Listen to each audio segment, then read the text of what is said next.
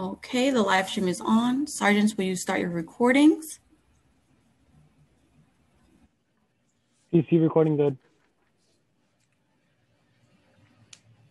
Cloud recording underway. Backup is rolling. Okay, and Sergeant Leonardo, can you do the opening statement, please?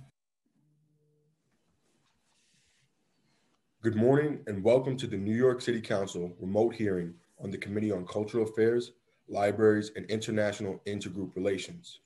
At this time, we ask that all council members and council staff turn on their video for verification purposes. To minimize disruption, please place cell phones on silent. If you wish to submit testimony for the record, you can submit your testimony via email by sending it to testimony at council.nyc.gov. Once again, that is testimony at council.nyc.gov. We thank you for your cooperation. Mr. Chair, we are ready to begin. Thank you. Good morning, everyone, and welcome to today's hearing. Uh, it is an oversight hearing of the Committee on Cultural Affairs, Libraries, and International Intergroup Relations, which I am very proud uh, to chair. My name is Jimmy Van Bramer, and the topic today is the impact of COVID 19 on art and cultural education programming in New York City. Uh, before we get started, I want to uh, recognize my colleagues who have joined us, Council Members Borelli, Gjonaj, and Moya, and I believe joining us uh, later today at some point in the hearing for the first time will be uh, the newest City Council member, Darma Diaz, uh, who will be joining our committee, and we welcome her uh, to this very important committee and topic today. So our city's arts and cultural organizations, our artists, our teaching artists, um, have been really devastated, of course, by the pandemic since March. And while culture and the arts have never truly closed, uh, the data does suggest that our uh, broad uh, and incredibly important cultural sector, uh, which includes arts and education, has perhaps been the second hardest hit industry in the city after the restaurant and hospitality industry. And we've been doing uh, as much as we can to support this sector. Obviously, we are thrilled with the passage of open culture last week uh, and uh, the editorial in the Daily News today in uh, support of that legislation. Uh, but we know there's a lot more to do, and uh, we're certainly going to need federal and state uh, stimulus packages to truly make a big difference. but today, we want to narrow the focus to education and arts and education uh, specifically uh, because it's too important not to talk about arts and education. Uh, we knew that teaching artists uh, were at risk even before the pandemic. And so it's not surprising that teaching artists were laid off at disproportionately high rates uh, during the pandemic, uh, with a 78% decrease in artist staffing within this cohort at New York City based organizations uh, leading up to May. And research conducted last summer also indicates that arts education organizations alone have shown uh, income losses uh, of at least uh, in the area of 20%. Uh, I would also add, obviously, the Department of Education's arts and education budget uh, was slashed substantially many artists take teaching artist roles due to the flexible schedule uh, and additional income that these roles provide. Uh, but these positions sometimes left New Yorkers in a vulnerable, vulnerable position uh, without benefits, protections, and structure.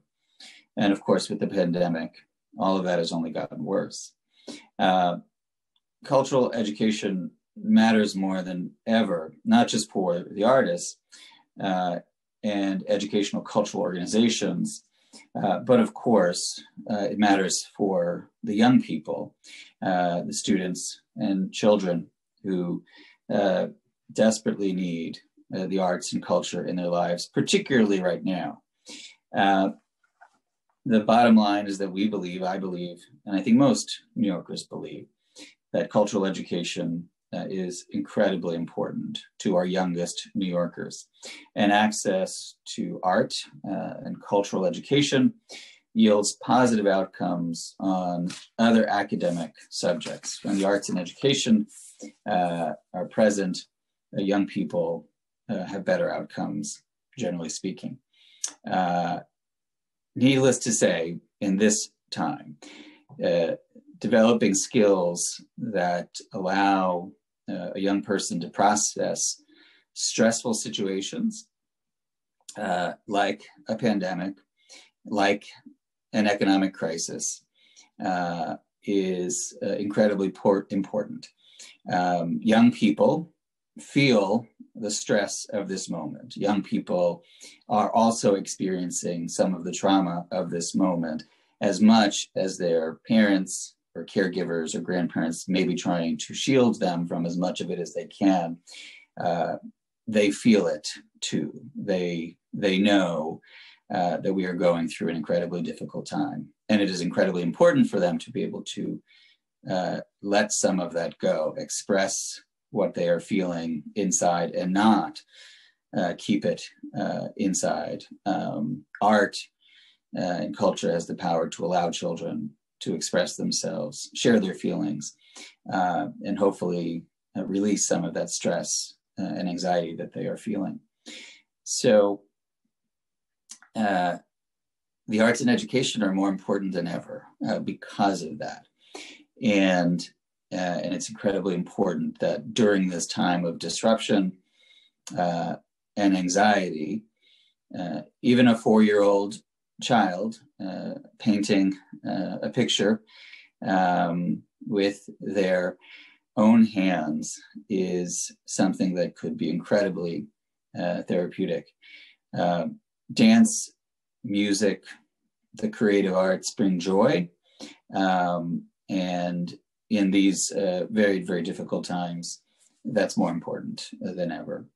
So, we want to talk about art as a tool um, and the cultural organizations um, and artists um, who do this work, who want to continue to do this work, uh, but who are themselves um, uh, being pushed out of this work. Uh, this needs to be addressed. We know from the Pew Research Center uh, and other data that educational outcomes are improved when young people have art and culture in their lives. So, uh, once again, uh, cutting uh, arts and education programs, decimating budgets, um, and uh, letting go of something that should be actually enhanced can only hurt children and the future of this city.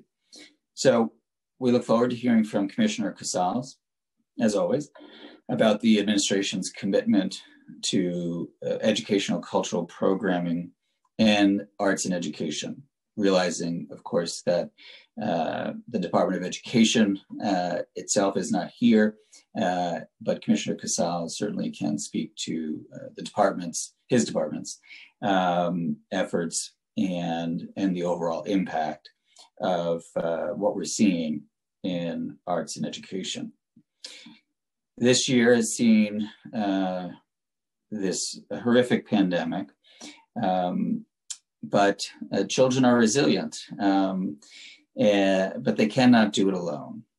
And our city's uh, young people, children, uh, teaching artists, educational organizations, arts and ed programs, they need our help. So I look forward to the discussion uh, and how the council can, as ever, partner with this administration to support uh, all of the above. I want to thank all of the folks from the community, uh, the cultural community, arts organizations, institutions, artists, teachers who are joining us today. I know we have a robust public testimony schedule and a, a number of experts in the field. And I am very hopeful that this oversight hearing will produce uh, uh, good questions, but more importantly, good results. So I want to thank my staff, my legislative director, Jack Bernadovitz, chief of staff, Matt Wallace, uh, our committee staff, Brenda McKinney, who was our counsel, Christy Dwyer, who's our policy analyst, and Alia Ali, who is our principal financial analyst on the Cultural Affairs and Libraries Committee. With that, I'm going to throw it back to uh, Brenda McKinney, our legal counsel, to go over the agenda and the process by which we'll conduct the hearing. Uh, thank everyone again and look forward to hearing from Commissioner Casals. Thank you so much, Chair Van Bramer, and good morning. Um, I'm Brenda McKinney, Counsel of the Committee on Cultural Affairs, Libraries, and International Intergroup Relations at the New York City Council. I will be moderating today's hearing and calling on panelists to testify. So we will start by going over some procedures for today's hearing. Before we begin, I'd like to please remind everyone that you will be on mute until I call on you to testify. After you are called on, you will be unmuted by the host. Please note there is a small delay when you are unmuted and a box will pop up asking you to accept the unmute. Please listen for your name. Um, I will periodically announce who the next panelists will be, uh, usually in, in groups of four. Council member questions will be limited to five minutes. And council members, please note that this includes both questions and witnesses' answers. Also, please note that today we will be allowing a second round of questions at today's hearing. For public testimony, I will call up individuals and panels. Um, apologies again, this is with four people, not for the administration, but for public. Um, council members who have questions for a particular panelist should use the raise hand function in Zoom, and you will be called on after everyone on that panel has completed their testimony. For public panelists, once I call your name, a member of our staff will unmute you, and the Sergeant at Arms will give you the go ahead to begin speaking after the timer has started. Please note again, a box may pop up for you to click and accept that unmute. All public testimony will be limited to two minutes today. We'll be using a two minute clock. After I call your name, please wait a brief moment for the Sergeant at Arms to announce that you may begin before starting your testimony. So with that, um, we will now move to the administra uh, administration um, and that testimony part of the hearing. And I will call on the following members of the administration to testify. So first we have Gonzalo Casals, Commissioner of the Department of Cultural Affairs, who will be delivering testimony. And he is also joined by Sheila Feinberg, Deputy Commissioner from the Department of Cultural Affairs. So I will deliver the oath to both of you at the same time. And after um, that oath, I'll call upon each of you individually to respond to the oath. You can please raise your right hand in the video. Do you affirm to tell the truth, the whole truth, and nothing but the truth before this committee and to respond honestly to council member questions?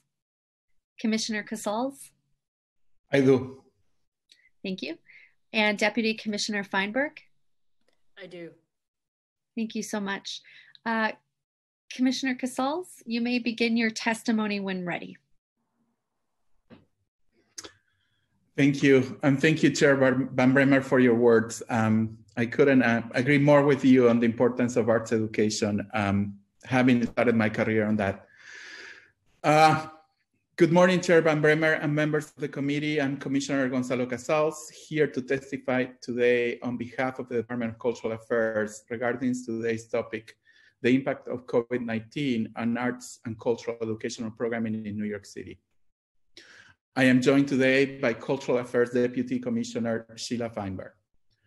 As you are aware, no realm of life in New York City has been untouched by the ongoing COVID-19 pandemic and our cultural community, which is the foundation for so much of what makes our city vibrant, healthy, and alive, has been particularly hard hit. The effects span both the profound personal losses and suffering that so many New Yorkers experience and the devastating financial losses experienced by our nonprofit partners. Back in the spring, we conducted a survey of the financial impact, which found half a billion dollars in lost revenue and thousands of layoffs and furloughs. One particular alarming data point involved the impact on arts education organizations. According to the report, these groups experienced the most severe income losses, a staggering 18% of annual revenue within the first few weeks of the pandemic. Our survey also found that some of the greatest reductions to artists' employment had come from arts education organizations, which collectively reported decreases of over 2,100 artists or 78% of artists staffing during this period.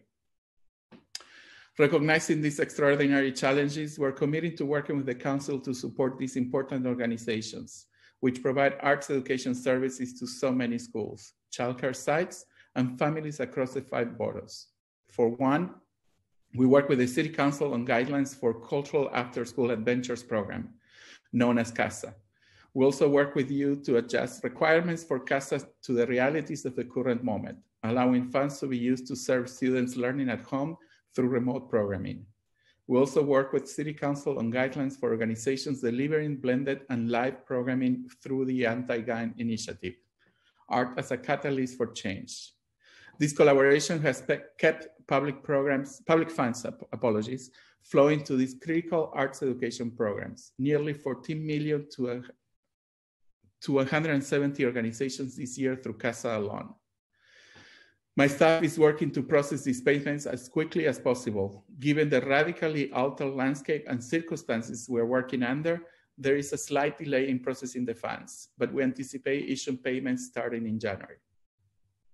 We have also been providing arts education organizations with resources to help them make the transition to remote programming through webinar, webinar, webinars and resources posted online. I'm excited to announce that just yesterday we sent notifications to over a thousand cultural groups receiving 41, $47.1 million um, in FY21 support through the Cultural Development Fund. This included more than 12 million added by City Council at budget adoption. Nearly half of CDF grantees provide services to a K-12 audience. So this support is crucial for arts education. We thank you for this critical funding, and we were able to use this money to invest in some of the cultural sector's most urgent needs, including across the board grant increases for all CDF recipients, grant increases for more than 600 groups working in low-income neighborhoods and areas mo most affected by COVID-19, and boost for the five local art councils that will be passing along to the individual artists and smaller nonprofits. Importantly for today's topic, it also includes money specifically earmarked for arts education in two ways. First, through increased funding to 25 arts education groups, and second, funding for the Arts Education Educator Emergency Relief Fund, established by the Arts in Education Roundtable early this year. As I mentioned earlier, our COVID-19 impact survey found that arts education was partic particularly hard hit by the pandemic, just at the moment when New Yorkers needed their services the most. The Arts Education Educator Emergency Relief Fund, initiated earlier this year with contributions from the New York Community Trust and Move Foundation, provided unrestricted grants to hundreds of arts education professionals who were hardest hit by the COVID-19 crisis. We're thrilled to be able to support the educators who are so critical to providing young people with extraordinary benefits of creative engagement. The extraordinary staff of Materials for the Arts program, which is beloved by arts educators throughout the city, has made sure the arts education services continue to benefit educators and students. The MF to the MFTA Education Center has transitioned to its in-person programs to online platforms. They continue to host field trips, in-school residencies, professional development courses, monthly public events, artists in residency, and gallery exhibitions. We also launched the MFTA Online Education Center to support teachers and students with resources during the pandemic. Thanks to the creative MFTA team, the Education Center has served over 10,000 New York City Department of Education students and over 1,000 teachers through 37 virtual field trips, 35 online residencies at over 20 schools, and nine online professional development courses for DOA teachers, all since the pandemic began. We have been inspired to see how cultural workers, despite the incredible stresses of recent months, have remained committed to bringing cultural programming to New Yorkers. An arts education, which has such a profound effect on youth and families, is among the most vulnerable and most important programming to support. We appreciate your partnership in supporting these essential arts ed programs and the people who make them possible. We recognize the long road ahead toward a full recovery. Thank you for the opportunity to testify on this topic, and I'm happy to answer any questions you may have. Thank you. Thank you very much, uh, Commissioner uh, Casals, um, for your testimony. And I don't see Councilmember Diaz has joined us yet, but I will recognize uh, her when she does. Um, so, like me, you outlined the devastating uh, impacts of COVID 19 on arts and education and uh, arts educators and teaching artists and the organizations that focus on that. Um, but I did want to take a moment because uh, the city council's cultural initiatives, uh, uh, you mentioned CASA and, uh, and several others. Uh, it's incredibly important to me, and I think to the other council members, to know that that funding uh, that we fought for and allocated, even in this very difficult budget, um, is being uh, used. Uh, it is being spent well, um, and even if it is uh, being done remotely, in many cases, uh, children are seeing the benefits of CASA programming. So, can you talk a little bit about um, uh, how this is happening? Maybe some examples of, of CASA grants and uh, and the extent to which um, both schools and the uh, organizations that receive CASA grants have adopted uh, in this moment to still provide invaluable uh, uh, after school cultural programming. And um, talk to us a little bit about that because uh, as you know uh, i fought really hard for years to increase successfully the casa budget. Um, and you know i know that there's some um, there's some questions from from folks about is is this still even needed right? Are we still even able to do this? Um, and so talk to me and answer both of those questions. Uh, is it still needed and and are we able to do this? Uh, i don't want to shoot the messenger but I, I, can't believe somebody could ask that question. Um, people ask that question. I know. Um, Yes, um, I just I must warn you that um, CASA programs usually start in January. Um, so um, what we have seen is we have allowed working closely with the city council, um, changing um, the requirements.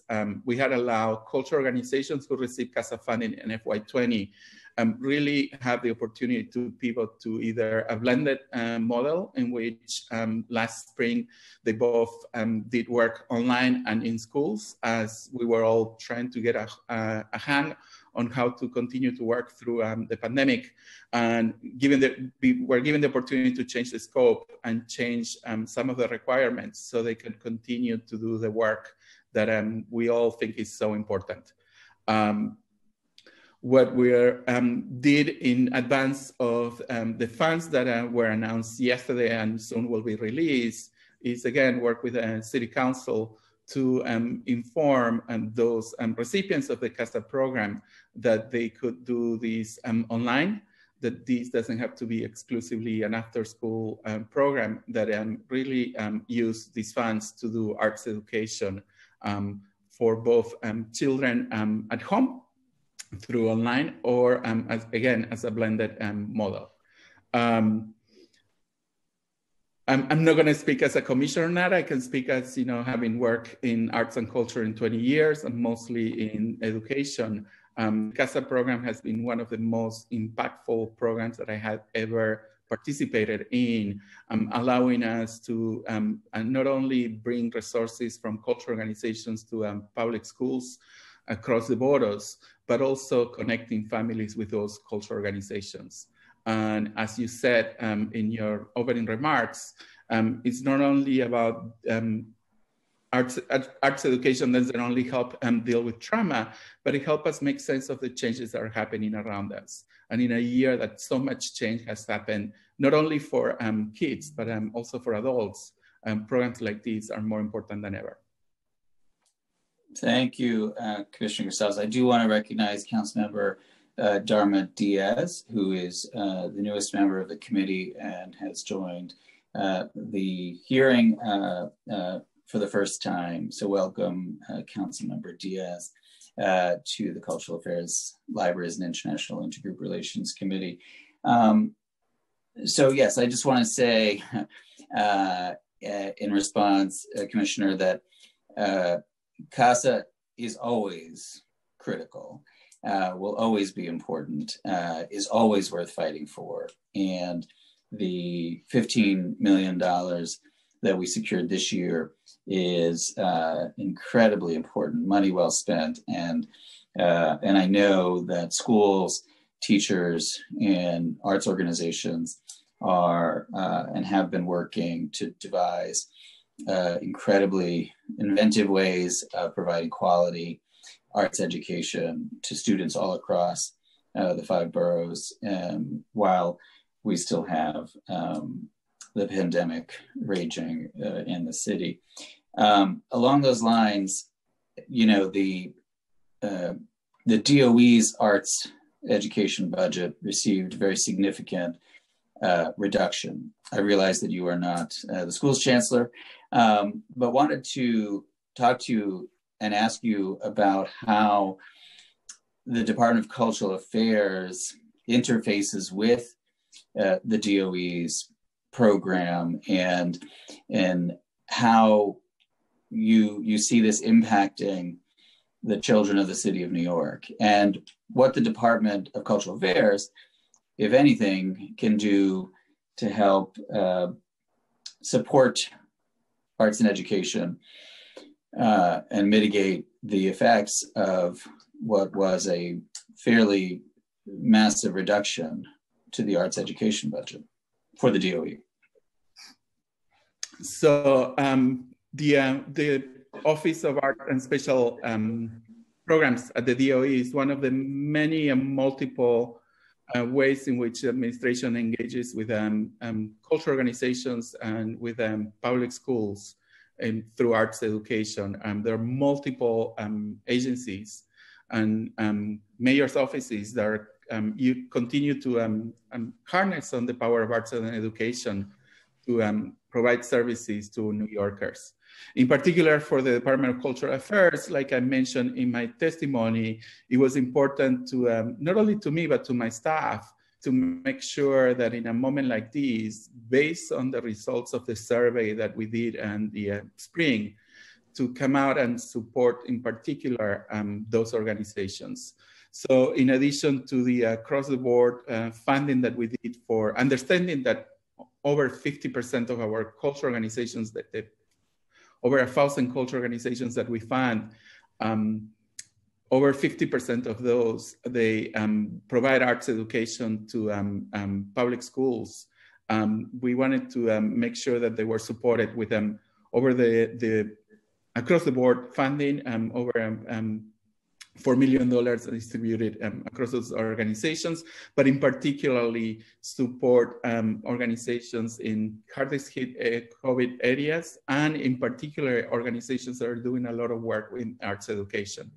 And the way that we um, did that is we divided um, um, a few, a pot of money um, for specific arts organizations, and then it was important for us while the Department of Cultural Affairs um, grant making process is um, a little um, too complicated for an individual artist to um, go through. We wanted to make sure that um, our um, Board of Councils and the Arts in Education Roundtable would have enough money to regrant and support directly arts educators. And um, so the the 25 arts education groups that received enhancements. Um, could you talk a little bit about the the process uh, and and you know what kind of organizations are getting additional money and what is the total uh, of that and uh, you know where's that money going talk a little bit about all of that because that is one of the ways in which you took some of the additional funding that we have been fighting for for years um, and were able to get into the budget. Uh, you know, we, we kept most of that this year against all odds. And so uh, while the DOE arts and education budget was slashed very significantly, um, the, the department's budget uh, and our, our cultural initiatives much, much less so but but then how did you invest that money and and talk a little bit about uh, what you hope to accomplish with that? How much was it? What's the process? Who's getting that funding? Which is additional right? I mean we're talking about groups getting additional funding in this budget year which is kind of uh, staggering um, but but obviously given the losses it's it's uh, it's almost impossible to make up for for what people have gone through but uh, how meaningful is the investment? So a, a couple of things. First, I, I just want to note that um, um, CDF funding overall um, has only seen from last year an 8% cut, which as you said, in a moment um, like this, um, it's, it's almost um, right. And we are thankful to the, to the council, thankful to you, and to the administration for the support um, of cultural organizations in a moment like this. Um, as you said, um, there's um, well, there's a specific um, pot of money, as I mentioned, that goes to um, arts education. It's 26 organizations. 25 is you remove the arts education roundtable for that very specific program, and we're talking about three quarters of a million dollars going just specifically to those organizations. Um, half of that goes for the re-grant program directly to support um, teaching artists. And the other half has been distributed among the 25 organizations in which we looked at um, organizations that are working across the five boroughs. We're looking at organizations that are working across disciplines, but also organizations that are working with um, BIPOC communities and communities that have been hardest hit by um, COVID. That's very specific about arts education. What you need, as you um, imply in your question, um, what we need to keep in mind is that that's one of the multiple layers of funding um, that organizations are getting um, when they receive um, our grant. Um, in addition to that, again, over 600 organizations that they do arts education and are our grantees have received an across the board um, funding increase, which is um, around $4 million um, to be spread out across our grantees. And they also receive um, a total of um, $12 million um, specifically um, organizations that are either located or working in COVID, what we call hardest hit COVID-19 areas. I also want to add, um, not necessarily specific to arts education, but um, in addition to um, in addition to um, the uh, way that we distribute the money, we try to simplify the um, the process uh, to facilitate the access to public funds to organizations. And there are three things that we are committing. Is this is the first time in the history of the agency that we're allowing um, small um, organizations, organizations under $250,000 to um, enter a multi-year grant. So organizations are received letters yesterday saying that they're funded for FY21. They're also going to be funded, funded for FY22.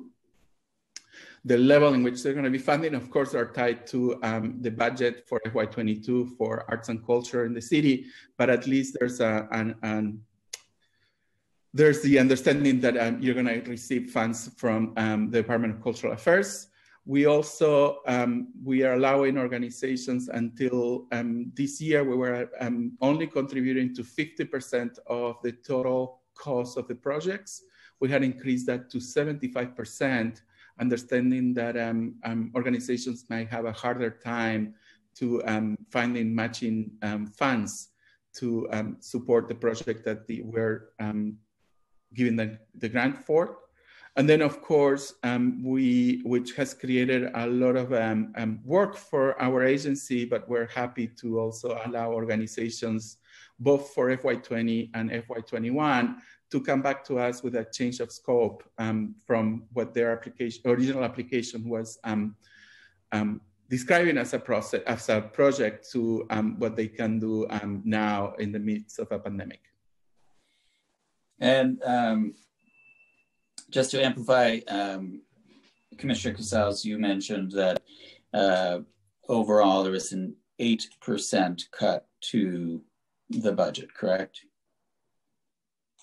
Whereas um, there's, an 11%. If you look at the um, adoption budget, including the $20 million that was allocated by the uh, City Council, um, there's um, almost 10% cut. Um, if you look at just the CDF line um, budget line is only 8%. Right. And that is in contrast to uh, many uh, budget lines that received uh, 20, 30, even more uh, percent uh, reductions. Obviously, uh, I advocate for more funding for the arts and fought incredibly hard, but that is uh, uh, a number that, uh, compared to many other uh, parts of the budget, was uh, uh, was much smaller. Um, so, materials for the arts. Um, you know, the department is rightfully very proud of materials for the arts and the work that they do. Obviously, we, have had a, a, leadership change there as we've had in a number of our um, organizations and institutions. And um, uh, we just did an event last week with Materials for the Arts where they donated uh, thousands of uh, uh toys and art supplies that had been given uh, to them. Uh, and they chose PS 111 in my district, which serves primarily Queensbridge uh, and uh, Ravenswood, uh, and and so we were thrilled to join them and see the faces of the children. It was obviously done very carefully and, and very safely, but but I did join um, MFTA there and the principal, Principal Jagan, who does an amazing job at PS 111. And uh, we're able to uh, uh, to talk to several of the children. Um, so uh, I just wanted to mention that because it was an incredibly uh, moving day for us. But uh, but talk to me about how MFTA is helping in this moment, uh, particularly through a leadership change, and um, just got me to thinking about some of the other leadership changes. How how how are you experiencing that? I mean, how how are we navigating that space? Because it's an incredibly challenging time for these transitions to be taking place. Obviously, and there there uh, have been uh, a number of retirements or resignations, uh, uh changes, and uh, a number of uh, interim EDs or CEOs or artistic directors and searches going on. you know, has that affected um, us in any way. So the MFTA, and then sort of related, sort of the the the, the changes that are taking place, the um, the disruptions that are taking place, even at our institutions and organizations. A couple of things, um, and before we move into that question, I want to reinforce uh, something that you just said. Um, while we're extremely proud of uh, the amount of uh, funds we're distributing. And we don't want to sound naive. And I just want to make sure that we continue to understand that um, this is only um, going to get us so far and that um, the um, damage um, that this pandemic has created um, is larger, as you said on your remarks, than the city itself. in, in combination with the city council and the administration. And in the absence of um, state and federal support, um, we're going to be um, in very dire situation as a, as a sector in New York City. Um, moving to materials for the arts, I'm, so happy that we were able to um, help with PS 111. That's one of the many schools that we've been helping. I just want to make sure people don't think that there's any um, bias or, you know, we don't have favorites. And um, I have a lot of mixed emotions about Materials for the Arts because um, it is uh, an organization that works at its best in moments of crisis right? And that we were able to do amazing work during the uh, pandemic, um, but mostly because um, so many um, businesses and so many um, organizations are closing and are donating stuff to us. Um, so, well, it's um, really sad to see so many places donating stuff to us because they're running out of business. Um, we're glad that there's some a system like um, Materials for the Arts to be there to take on these donations and really distribute them um, where they are needed. Um, uh, one of the uh, um, sort of uh, assumptions that I want to defy, which is uh, for the most part, um, on normal years, people think that Materials for the Arts is just glue and glitter nothing wrong with that. I'm a huge fan of, you know, arts education and materials and, the Department of, of, Education teachers, they take a, a, huge advantage of that. We have seen going through the warehouse, um, um, just um, a few weeks ago, 300 uh, trees were donated um, to the city. And not only the donation of the trees, but the delivery and the um, planting of those trees was donated um, also, and we were able to distribute those among cultural organizations and um, the um, Parks Department, just to give you an, an idea of how expansive um, the program is. Um, it has been, all the work has been done um, with not without challenge. we have our workers coming to the warehouse. We're still doing what we call curbside pickup um, just for the safety of those that are trying to come and, and get um, donations from Materials for the Arts, but also our staff. And then the transitions that you're mentioning, um, I, uh, we, um, our um, fearless leader of Materials for the Arts, Harriet um, has retired after over 20 years working at the, at the agency. And in the meantime, our deputy director has taken the reins and really has made uh, happen really make um, happen um, all these um, donations that in, in, any other situation would have been hard to um, take because of COVID. So uh, thank you very much, uh, Gonzalo. And uh, a little bit lighter, I thought when you said that many people think of uh, MFTA as glitter i thought you were going to say you're a big fan of glitter um, uh, because i know i am yeah yeah i i assume so as uh, one queer man to another we can we can share our love of glitter um, anytime. Uh, i do want to recognize i see uh, majority leader come up oh, sorry before i do that gonzalo. Um, not chair, also we receive over 60 um, sewing machines that we were able to also um, distribute um, around um, different cultural organizations and individuals. So um, I don't know how to sew, but anything can be fixed with glitter. uh, I don't know how to sew either, but they will be used. Uh, I do want to recognize uh, someone who I believe is also a fan of glitter, Majority Leader uh, Laurie Cumbo, uh, has joined us and uh, thank her for all things love of the arts and arts and education. Obviously, as a mother of a young child, I'm sure incredibly important to her as well. Um, so uh, I want, I know we have a lot of folks uh, from the public who want to testify. Uh, want to ask if any of my colleagues have any questions for uh, Commissioner Casals in the arts and education realm and take a moment to uh, see if we have uh, any folks. Brenda? Um, thank you, Chair. We do not have any council member questions at this time. If council members have questions, if you can use the uh, raise hand function in Zoom, please. We are not seeing any questions, Chair. Okay.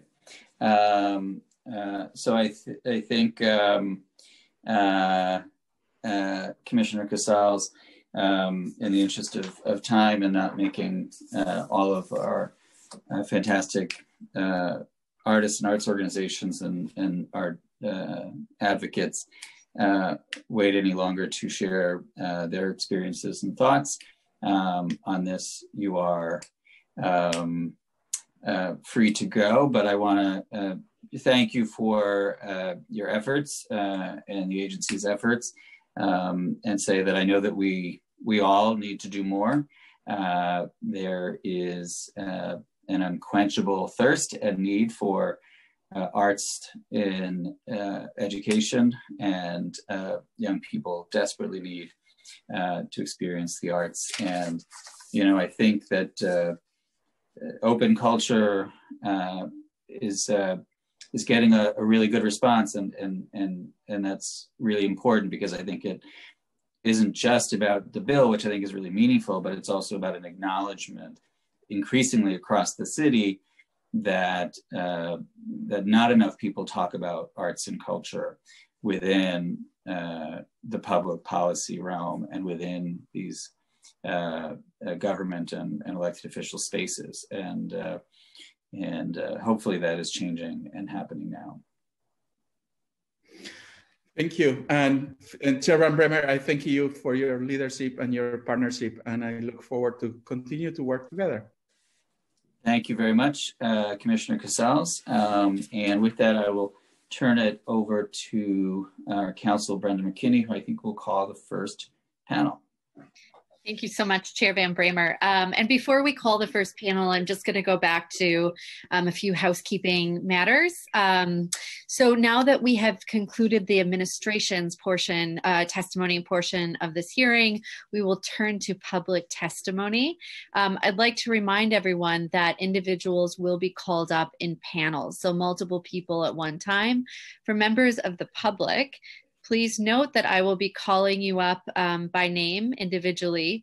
Council members who have questions for a particular panelist should use the raise hand function, again, as with administration testimony um, in Zoom, and you will be called up after everyone um, on that panel is called up. Uh, for panelists, once your name is called, a member of our staff will unmute you um, once again, and a sergeant at arms will give you a go ahead to begin after setting the timer. Please note a box might pop up and you might have to accept that unmute. There is a small delay. All testimony will be limited to two minutes. Please wait for the sergeant to announce that you may begin before starting your testimony. Um, so with this, we will start with the first panel and those present. Okay, just one, one moment, please. All right, so we will call the first panel, which is four members, starting with Richard, you know, uh, please uh, forgive any pronunciation as always. You know, um, Hosa from Queens Theater, followed by Zoraida De Jesus, followed by Courtney Boddie from the New Victory Theater, followed by Trisha Patrick. So the first person to testify will be Richard Hinojosa. Again, please um, excuse pronunciation. You may begin when the sergeant starts the clock and gives the starting gives time. Thank you. Uh, first, I'd like to thank Chair Van Bramer, the members of this committee, uh, and the entire New York City Council and the Department of Cultural Affairs for your continued support throughout this crisis of cultural institutions' efforts to bring arts and culture and arts education to our communities. Thank you. you know, we greatly appreciate your recognition of the positive impact that cultural institutions can have on our communities. You know, even in times of loss and isolation and economic strife, culture never closed.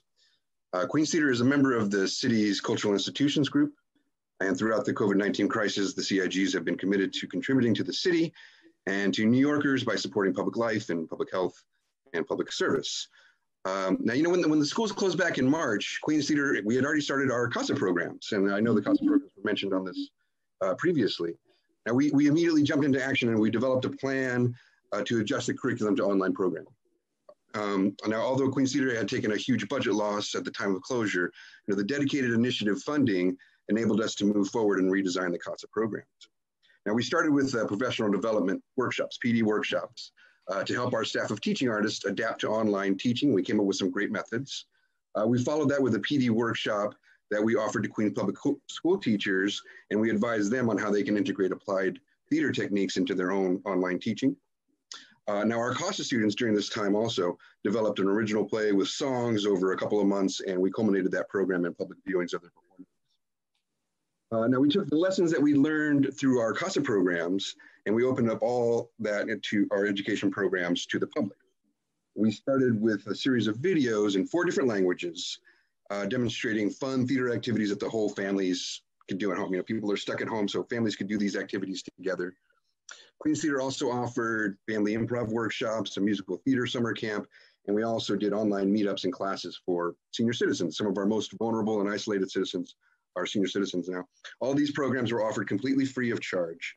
I'm expired. Program in a District 75 school, and thanks to uh, Mr. Moya and Mr. Moya's district, and we're starting two others in January. Now, our experience with remote, remote programming has expanded our toolkit, and we are looking forward to once again offering CASA programs, and we're confident that we have multiple ways to deliver them successfully. Now, now more than ever, our children are missing their friends and their teachers and their classroom spaces. We, we really must consider how we can make their school days playful, free, and collaborative using the arts. Um, your continued support of arts education and culture will go a long way to healing our communities, and, and we are here as your partners. So we really appreciate your con continued commitment and engagement, and we thank you for this opportunity to share how Queens Theater has been adapting during these challenging times. Thank you. Thank you so much. Uh, we will now move to the next panelist, which is Zoraida De Jesus. Zo? Starting time. Yes, can you all hear me? We can hear you. Go ahead. Okay. Yes, hello. Thank you, Chairman Van Bramer and members of the Cultural Affairs Committee. My name is Zoraida de Jesus, and I am a participant in the Wildlife Conservation Society's Virtual Discovery Guide program. WCS is a member of the city's Cultural Institutions Group.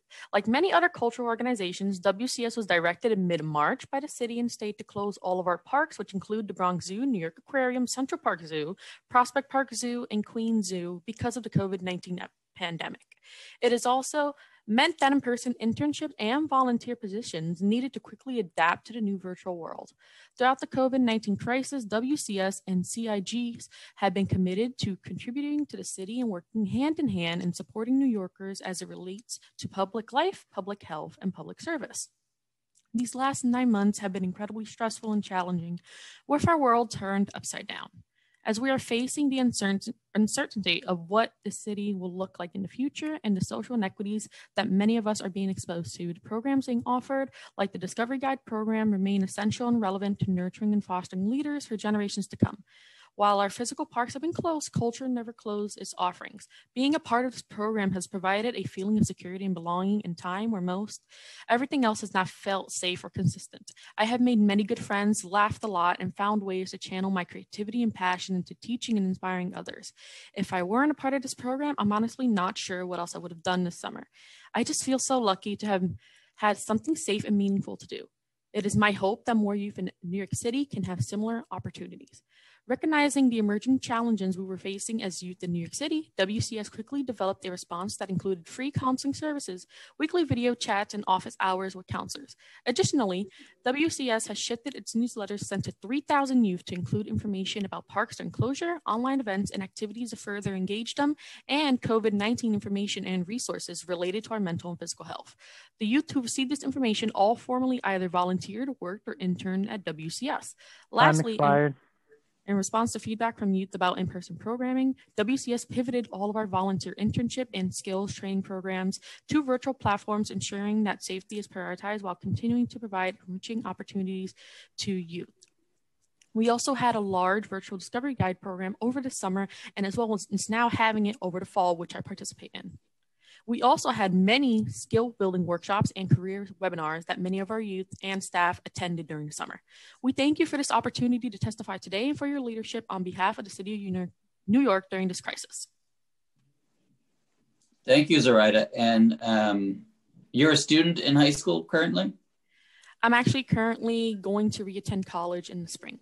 Oh, wonderful. Congratulations. Thank you so much. Uh, you, you just represented WCS incredibly well. Thank you. All right, thank you so much, um, Chair. And Courtney Boddie is the next witness. Starting time.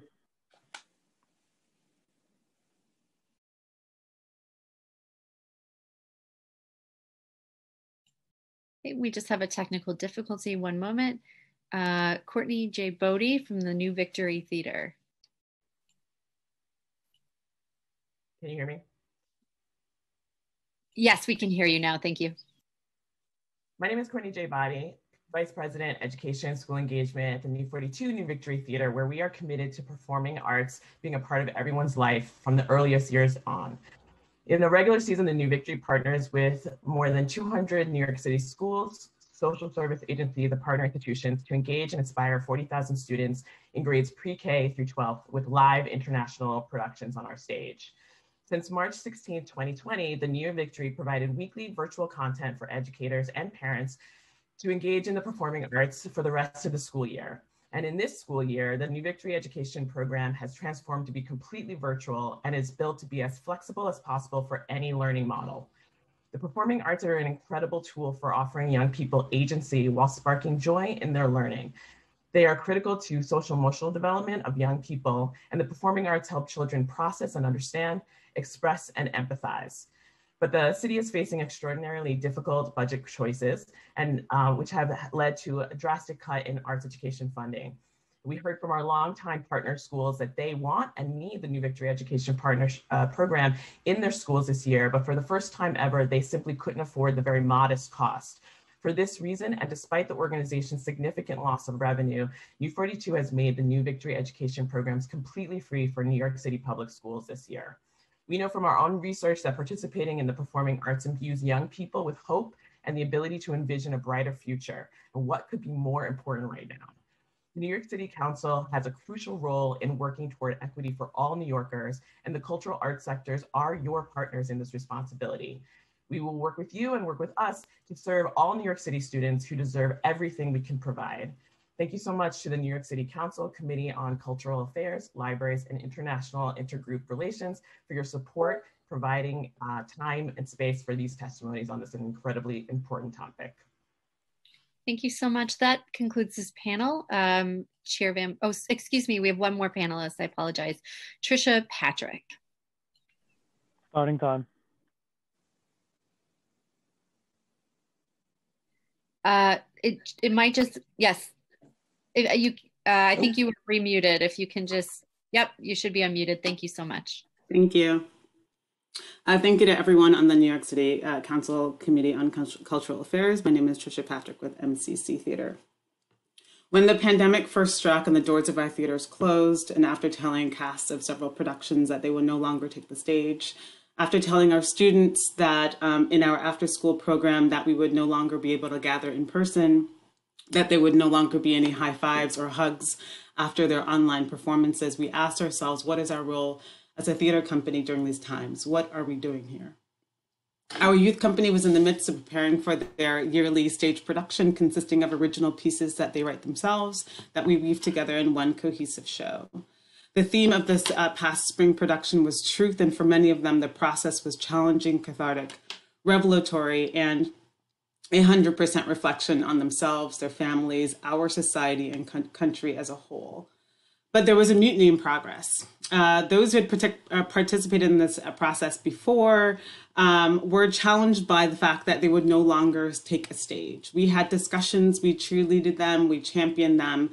Um, but in one impassioned plea during a Zoom class, one of our students proved herself and the entire mutiny wrong.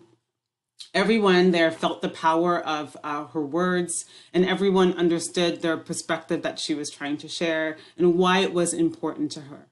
The paradigm shifted because we all realize in this moment that the medium through which we tell stories is important, but even more important is that she could tell her stories, that her voice could be heard, and that she provided uh, the vehicle, the space in which she and they could express themselves. The power of telling a story through whatever medium we can.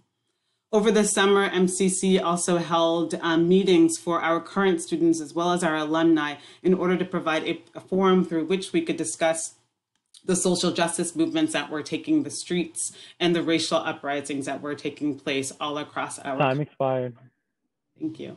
Fast forward to this fall, MCC and a coalition of other uh, arts organizations galvanized in order to provide a virtual after school program fair. We wanted to ask ourselves or challenge ourselves with creating a platform through which students from all across the city could locate and connect with an after school program. There is still a need for these students to connect with after school programs the need is so so rich um, that our program is as full or almost as full as it was in the past, and our teachers continue to echo that the, their attendance is up and the engagement is up when our teachers are in the classroom. Thank you so much for, for providing this uh, forum and for providing the for a way for us to connect um, and discussing these programs. Thank you. Um, that was incredibly powerful testimony uh, about the uh, absolute necessity for uh, arts education and uh, after school programming, but uh, also the ability to adapt and, and meet that need because um, we all know that young people so desperately need that. And um, it's, it's good to hear from uh, all of you, uh, uh, Courtney as well um, at New Victory, who now I don't see on my screen, but uh, I think uh, hopefully uh, hears me. Um, and uh, there you are. Now I see you. Um, and Richard and and Zoraida. Um, who I must say has the coolest headset of any headset I've seen in the thousands of Zoom hours that I have logged in the last nine months. Uh, uh, but also incredibly uh, powerful testimonies, Zoraida, um, on behalf of uh, uh, the institution. And, uh, you know, I just want to, you know, just say again, thank all of you because the culture never closed um, but but uh, uh, you know the arts and education efforts that are going on, even virtual, uh, and what is able to go on in person, uh, is uh, is so incredibly important. But it's also important to let people know that it's happening, because a, a lot of people are under the false impression that this work has stopped, that it is not happening, uh, and and so therefore if it's not happening it doesn't need to be funded. It doesn't need to be supported right? We can we can shift this money into other places and other spaces but we are here to and you are here to let uh, the council and the world know that in fact this work is happening um, and it's incredibly valuable and it's more important than ever to fund it. Um, so uh, with that i just want to say thank you to all of you for um, for what you're doing and uh, what you continue to do for young people in our city. Um, to thank you. With that, I'll throw it back to the council. Thank you so much, Chair Van Bramer. Um, we will just check for other council member questions before we move to the next yep. panel. Um, and if council members have questions, just a reminder to please raise your hand in Zoom. We're not seeing any questions. So we will move to the next panel.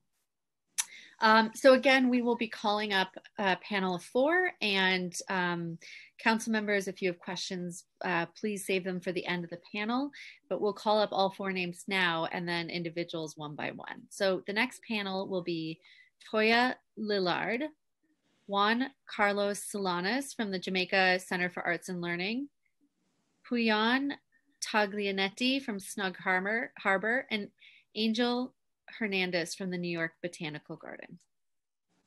So the next witness will be Toya Lillard. You may begin once the sergeant calls the clock. Starting time.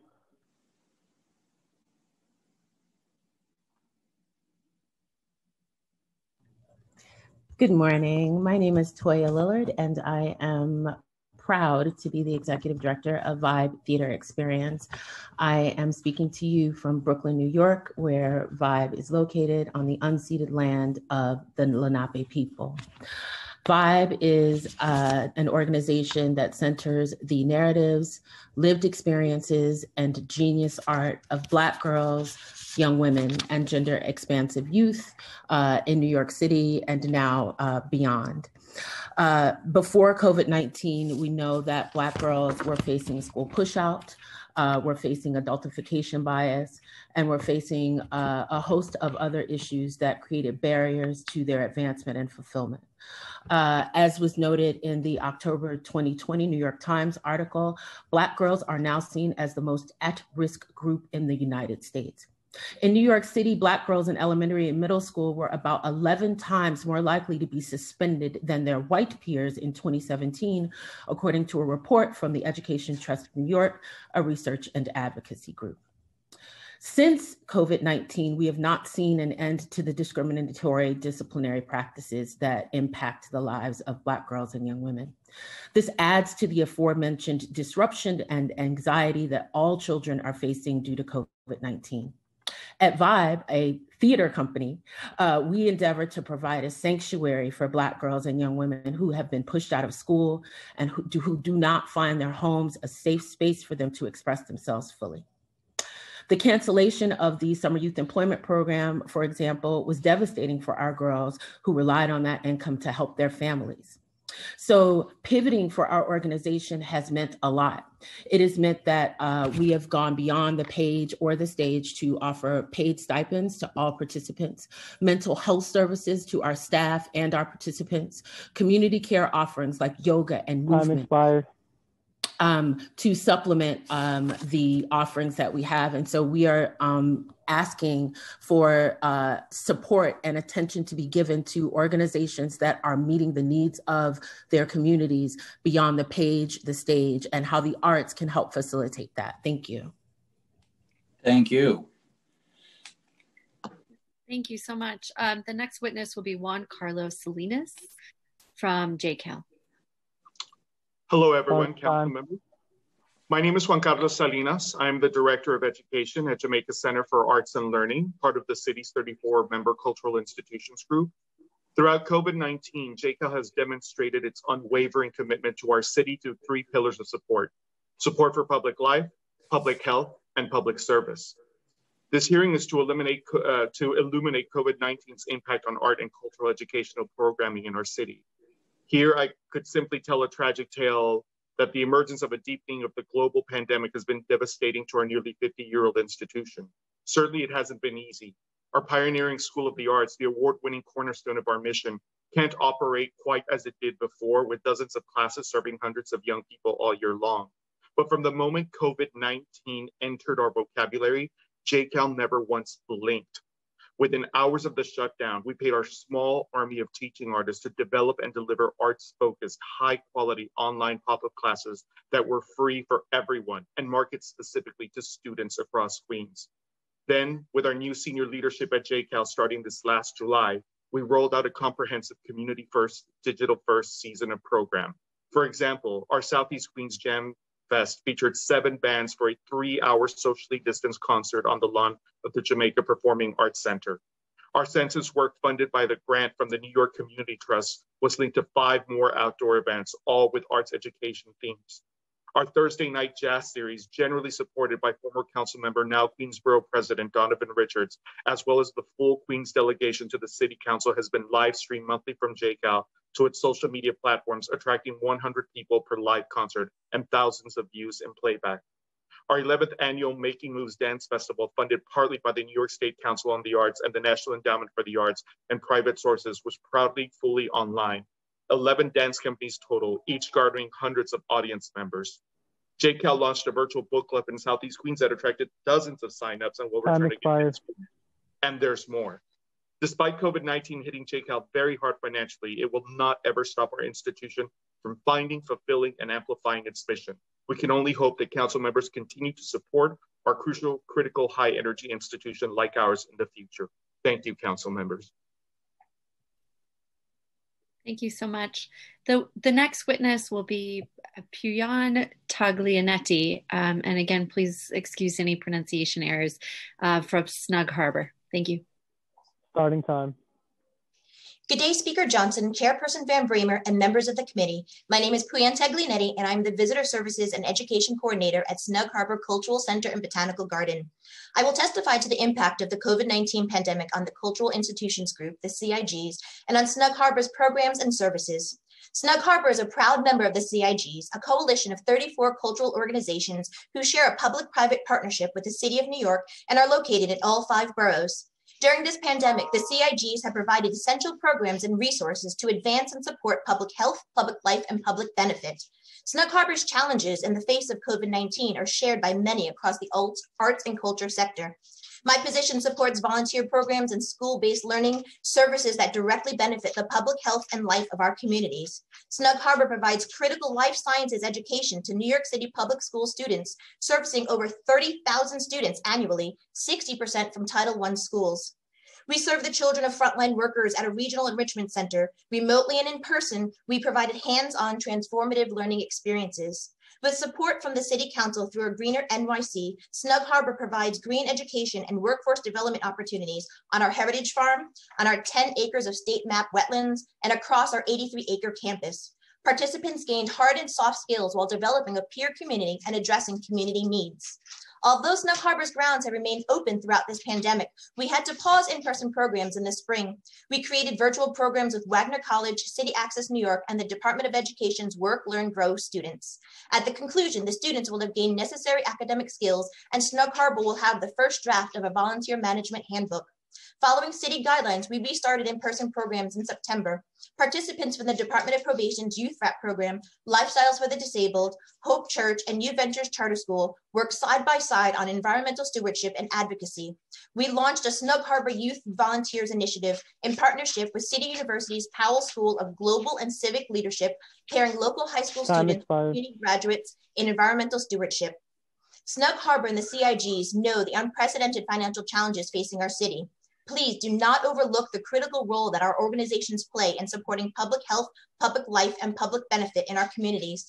Let us work together to bring New York back better and more vibrant than ever. Thank you.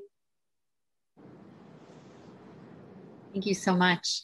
Uh, the last member of this panel is Angel Hernandez from the New York Botanical Garden. Starting time. Good morning, Chairman Van Bramer and members of the committee. On behalf of the New York Botanical Garden, NYBG, thank you for letting me testify today and for all your hard work in supporting our city's thriving arts and culture community, especially during these unprecedented times. As we grapple with the continuing effects of COVID 19, arts and culture become even more crucial for the coping and recovery of its wearied citizens.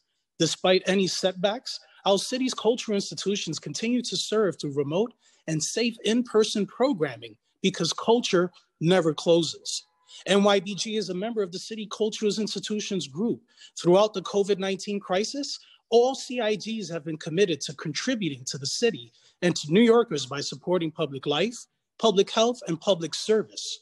In the realm of public health, the Garden stepped up at the onset of the pandemic to feed the Bronx in a healthy way by donating, th- donating thousands of pounds of fresh produce to neighboring charities and public schools. Also, NYBG created eight food hubs organized by groups of community gardens throughout the borough.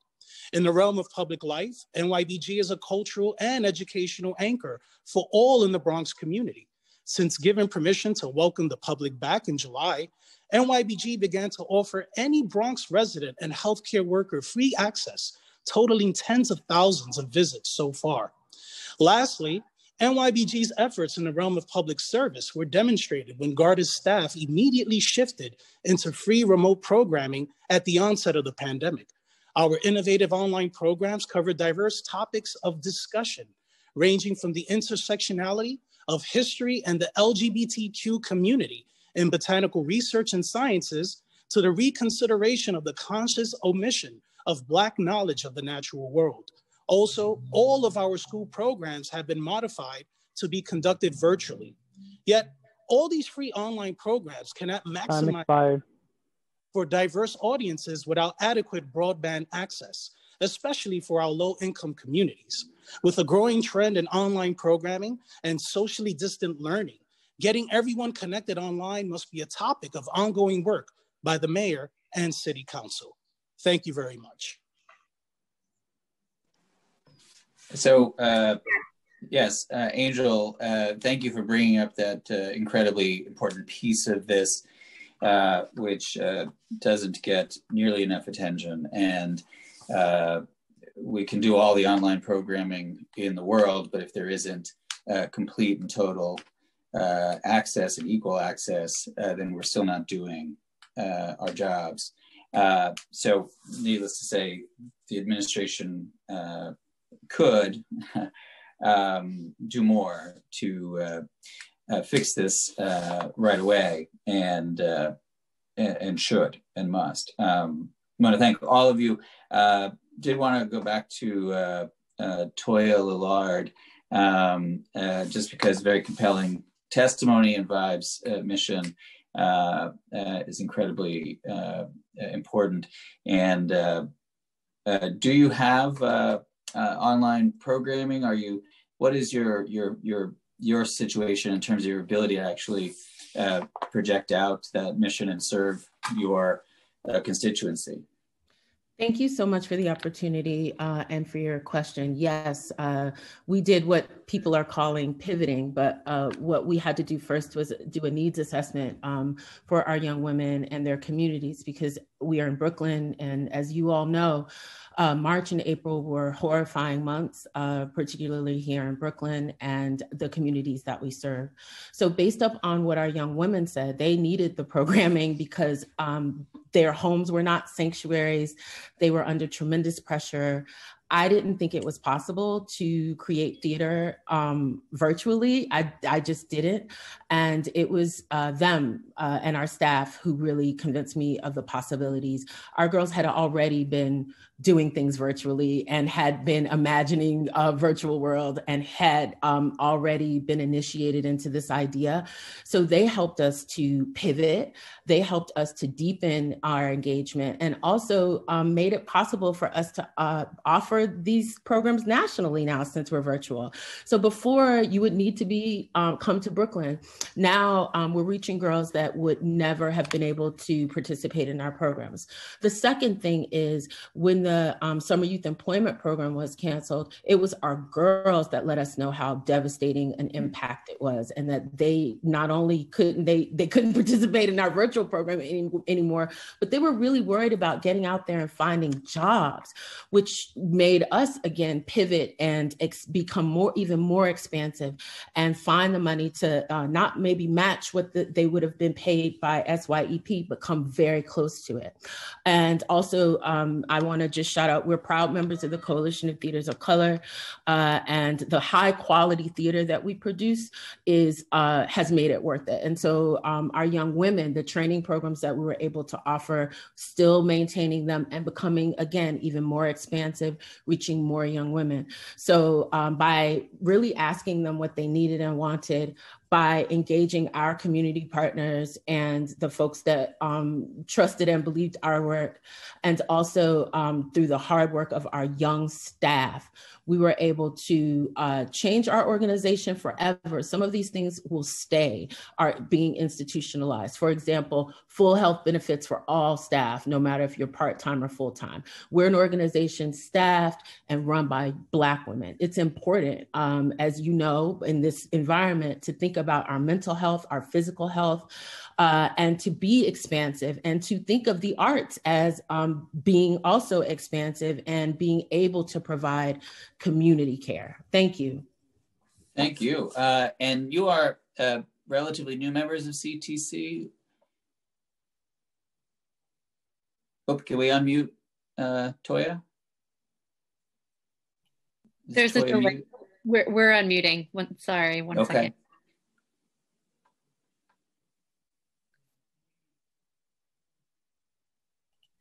Okay, one moment. Oh, she should be unmuted. Yes, we've been members of the CTC since 2015. Shout out to uh, to Majority Leader Laurie Cumbo for making that happen for us. Uh, so yeah, it's been about five years. That's great. And uh, uh the CTC was virtually the only cultural uh, budget item not cut uh, this year, as you know, and the majority leader and I fought uh, really hard in the budget negotiating team uh, to make that so. So uh, the program, as you know, has been greatly expanded. It should be expanded even more, uh, uh, and not cutting a budget is, while that is a success, um, shouldn't be the the baseline of what we're looking for. right, we should be expanding these budgets, particularly a budget line like this that was um, is the only one of its kind uh, in in the city of New York and uh, serves incredibly uh, important organizations like yours. So thank you for for the work and and um, illuminating all of us. Uh, and thank you to Juan Carlos uh, and JCAL for that uh, energetic, fierce representation of a great uh, a great Queens organization uh, that I love, uh, and uh, uh, Puyan at Snug Harbor, um, and uh, and of course Angel. So with this panel, thank you very much, and I'll turn it back to our our committee council. Thank you so much, Chair. Um, we'll just take one second to check if there's any other council member questions. Please use the raise hand function. We are not seeing any questions for this panel. So we'll conclude and move to the next panel. Thank you. The next panelist will be Alejandra Duque Cifuentes, Sophia Morris Pittman from Dance Theater of Harlem, Amanda Adams Lewis, and Erin Reed. Uh, so Miss uh, Cifuentes from Dance NYC, you may begin once the sergeant calls the clock. Thank you. Starting time.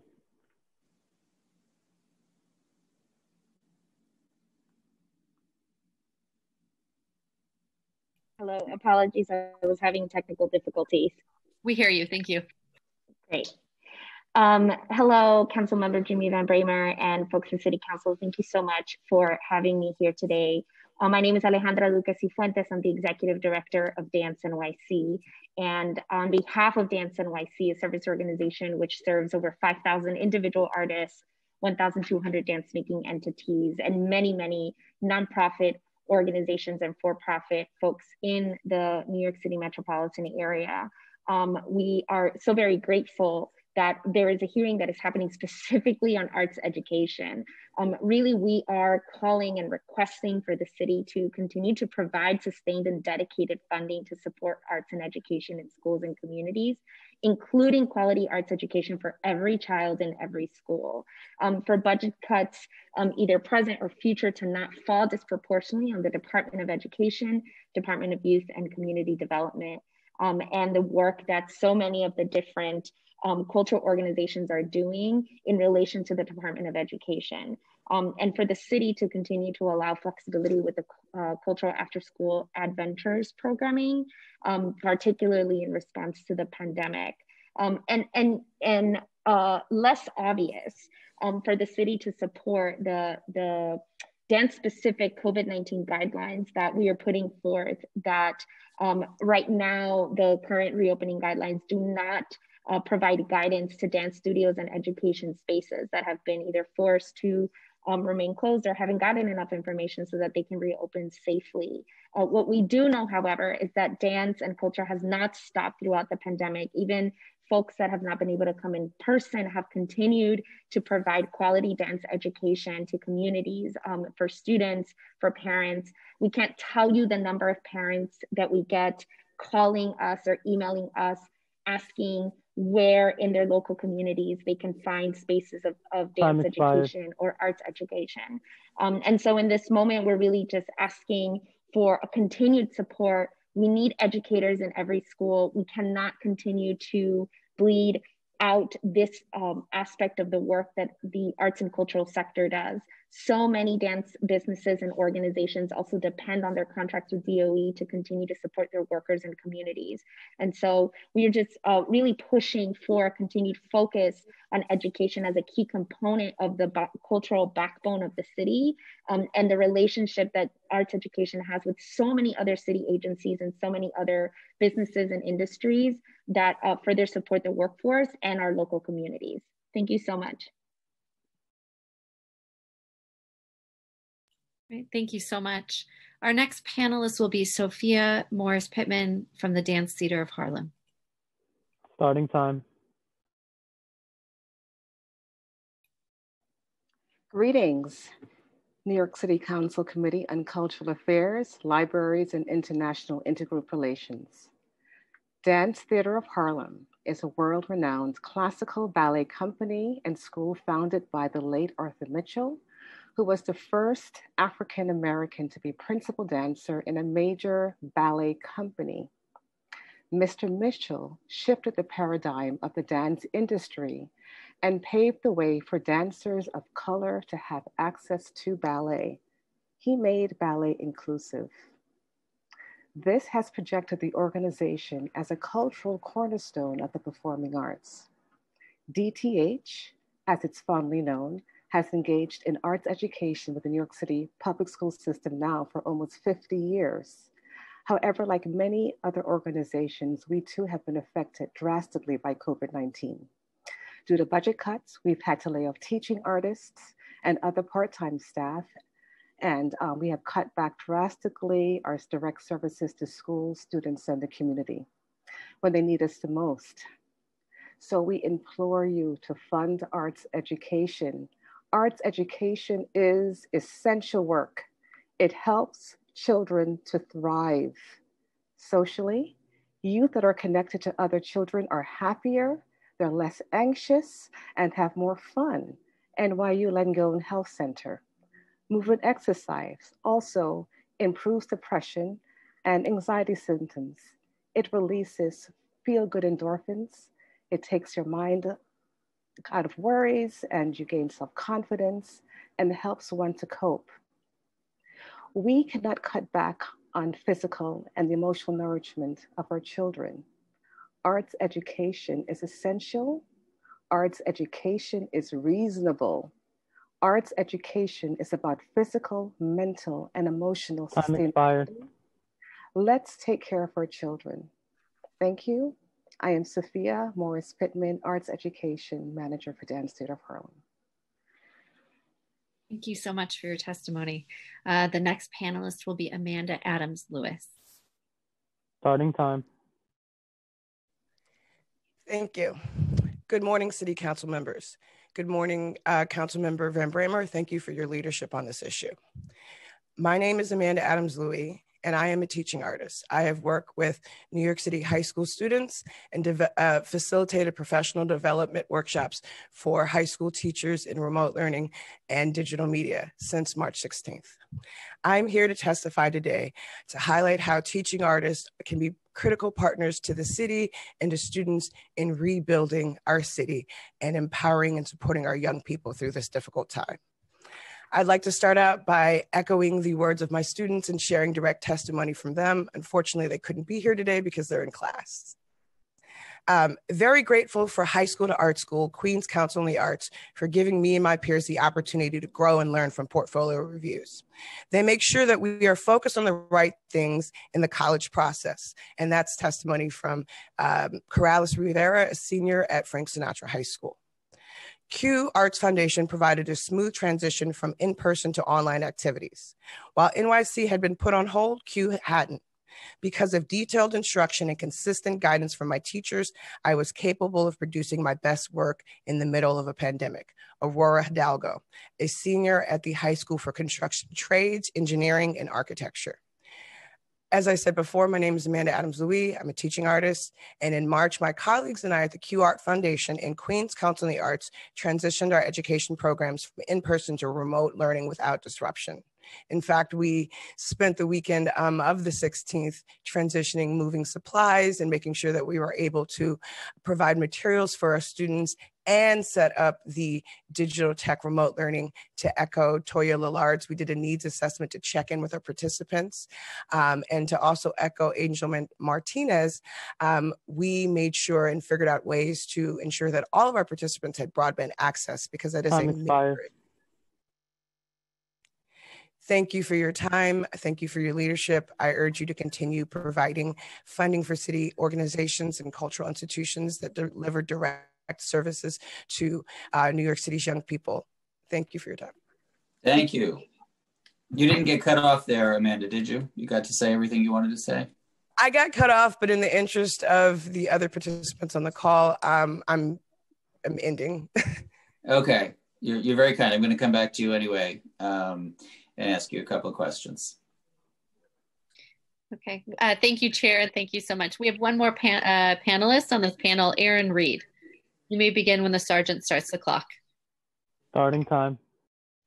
Hi all, uh, my name is Erin Reed. I've been a teaching artist and a museum educator in New York for over three years at the Rubin Museum of Art and the Tenement Museum. I'm completing my master's in K through 12 art education to continue this work. Um, thank you for this opportunity to be in conversation. Um, and I really just want to ground my statements in the reality that COVID-19 continues to disproportionately impact Black, Indigenous, and people of color due to racism and structural inequities in our healthcare, housing, and criminal punishment systems, to name a few. And of course, as we've heard today, arts and cultural education is not immune to structural racism. And this past year has highlighted this truth in sharp relief. Uh, mass layoffs in the arts, most significantly arts education, as we've heard, have hit BIPOC cultural workers the hardest uh, and pre-existing budget inequities have soared in this crisis and left art ed organizations centering BIPOC communities even more vulnerable than before. Um, within museums and cultural institutions, BIPOC workers tend to be the most represented within front-facing staff, so education, but also visitor services, security, shop staff, positions which are usually among the lowest paid work and the most precarious labor. Uh, from my experience as a former educator at the Tenement Museum, the layoffs of the entire part-time staff in, in July gutted a majority of workers of color and it left behind an institution that is overwhelmingly white. Uh, there are no longer any educators of color on staff at the Tenement Museum today. Uh, and this is an institution that sees thousands of students every year, most of whom who are students of color learning about history. Um, the story is similar at cultural institutions across the city. Uh, and so I implore you to advocate for increased wages and benefits for part-time and front-facing arts education staff, uh, and to continue to prioritize funding to arts education programs and institutions that serve predominantly people of color. It is unacceptable to me that the budget distribution between boroughs remains so uneven and, and it generates a lack of access to the arts for our most vulnerable students and lastly, I just want to salute our educators across the city for our ability to use creative thinking and to strategize new and innovative ways to reach our students. As we've heard in so many of the testimonies today, our adaptiveness and flexibility is what makes art educators some of the most well-positioned to deal with a crisis of this magnitude. Uh, and in particular, is the continued resilience and radical capacity for imagination of BIPOC cultural workers and art educators that keeps us afloat. And New York City needs our voices and our ideas. Thank you so much. Thank you. Chair Nope, little feedback there. Uh, you can hear me though, right? We can hear you. Thank you, Chair. Thank you. Um, thank you, Aaron, uh, for that uh, very powerful testimony. And uh, uh, I had already been thinking this, but uh, if, if you've been following along, um, most of the people who testified so far are in fact women of color um, who are uh, helping to lead uh, uh this fight. And uh, uh, I'm grateful for that um, and thrilled to see so many folks here.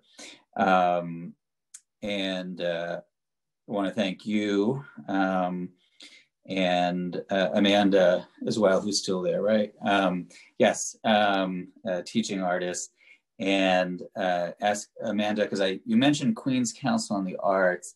Um, is is that how your work is is funded in part? Are you a a, a grantee, or what is the relationship uh, between your work and and QCA? I am a um, part-time staff member at QCA. I am one of the co-instructors for the High School to Art School program, a program that prepares first-generation low-income and underserved youth um, to apply to art schools and colleges and develop portfolios. And last year we raised and collaborated with students to garner $3.5 million in scholarship money for young people attending college. That's uh, that's pretty awesome, uh, and just want to thank you, and I and I think you know to Aaron's greater point, which is uh, absolutely correct in terms of equity and funding uh, to organizations uh, and access. Um, you know, we haven't, uh, as a city, gotten there, but there have been some things that that we've pushed at the council. Uh, one is to uh, dramatically increase funding for the Coalition of Theaters of Color and make sure that that budget was untouched this year when everything else was getting whacked. Um, uh, and I voted against the budget because I thought we should uh, uh, defund the NYPD and uh, reallocate that funding elsewhere. But um, but one of the other things that we've done the last couple of years is uh, dramatically increase funding to the five borough-wide arts councils um, so that we could actually reach individual artists uh, in the boroughs, um, many of whom are um, uh, BIPOC um, artists and um, and educators. So you know, it's it's just good to hear Amanda your story and and that uh, you know uh, the arts councils are, are doing some good work with that that uh, uh, increase in funding. Obviously, uh, I'm a proponent of increasing all of that, um, and and again, you know, Aaron, we haven't uh, we have not fixed this uh, structural uh, problem by any uh, uh, by any measure. But I do think Commissioner Casals, um, you know, is someone who who knows this issue, feels it personally, and and would like to work on on on getting something done. But uh, and I'll just my only political point is we're going to have to elect a mayor who uh, is is really committed to the arts and really committed to equity. Um, and and I think that's when you're going to really start to see uh, movement with a newly uh, empowered and progressive city council that uh, uh, you know can can move the issue. Part of that is also, and this really will be my last political point, is making sure that we have uh, elected officials who care about the arts, right, and who uh, you know, we're we're really actually asking people, you know, not just their positions on transportation and education, but what's your position on the arts, arts and education funding, equity in cultural funding, you know, making sure that we're doing all the things that uh, we need to do. Uh, so I would just uh, say that, and I'll get off my political soapbox for a second. But uh, thank you, Aaron, for centering uh, us in the way that, that you just did. Uh, and Alejandra, I think, is still here. Um, uh, you are a fierce advocate for uh, Dance NYC and the dance community, and uh, really, really, really uh, respect your work. And uh, Sophia, who I don't see immediately on the box, but just want to, oh, there you are. I do see you. thank you very much. Um, Dance Theater of Harlem is an amazing organization. It pains me to hear you talk about uh, reductions of any kind um, in, in the work that you do.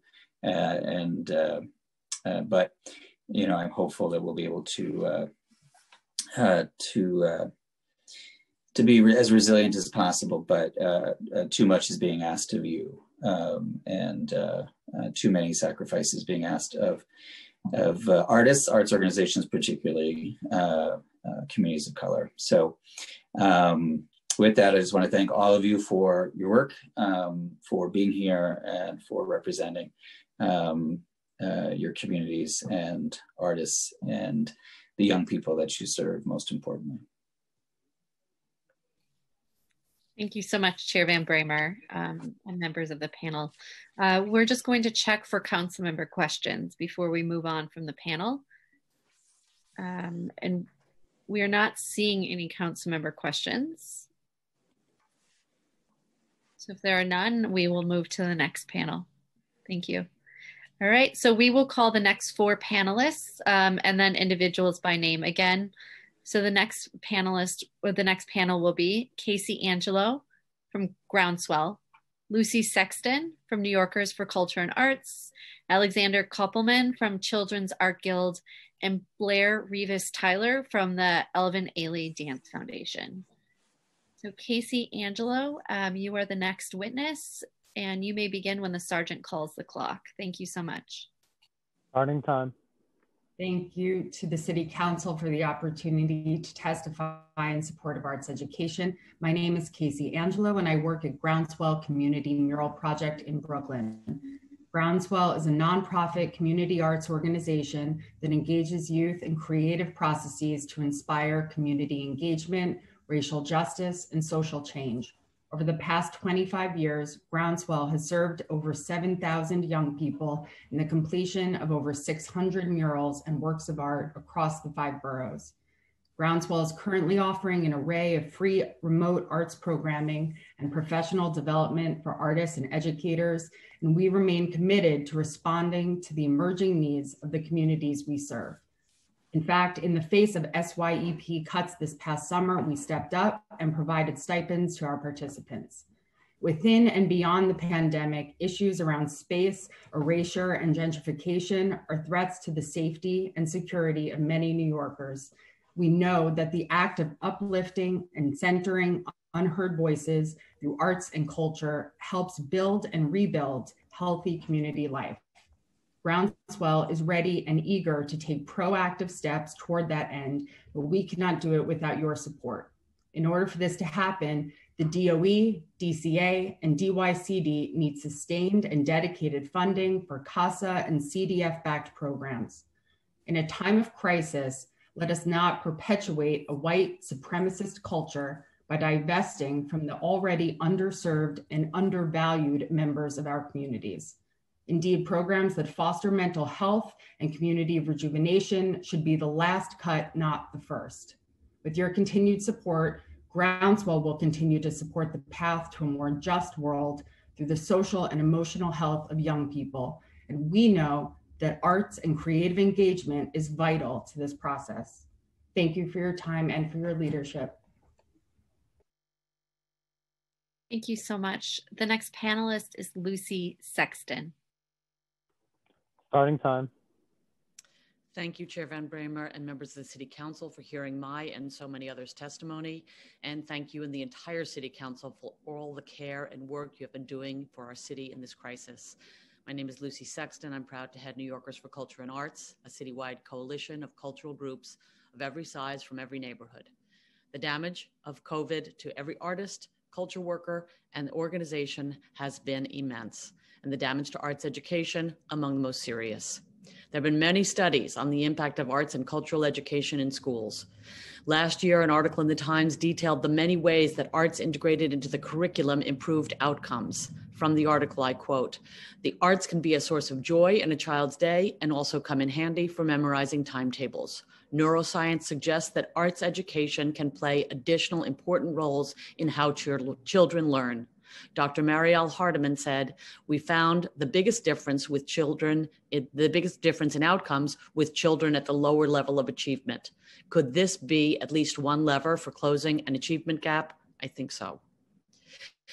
This fall, the Brookings Institute did another study affirming other benefits of arts and education. There were upticks in standardized test scores, reductions in disciplinary infractions, and marked increases in compassion for others. To quote from that research, increases in arts learning positively and significantly affects students' school engagement, college aspirations, and their inclinations to draw upon works of art as a means for empathizing with others. So, a crisis for arts and culture and education is a crisis for our kids and a crisis for our city. As you'll hear from many others today, it's also a crisis for artists who teach. An NPR show this morning detailed the devastating impact on artists' livelihoods.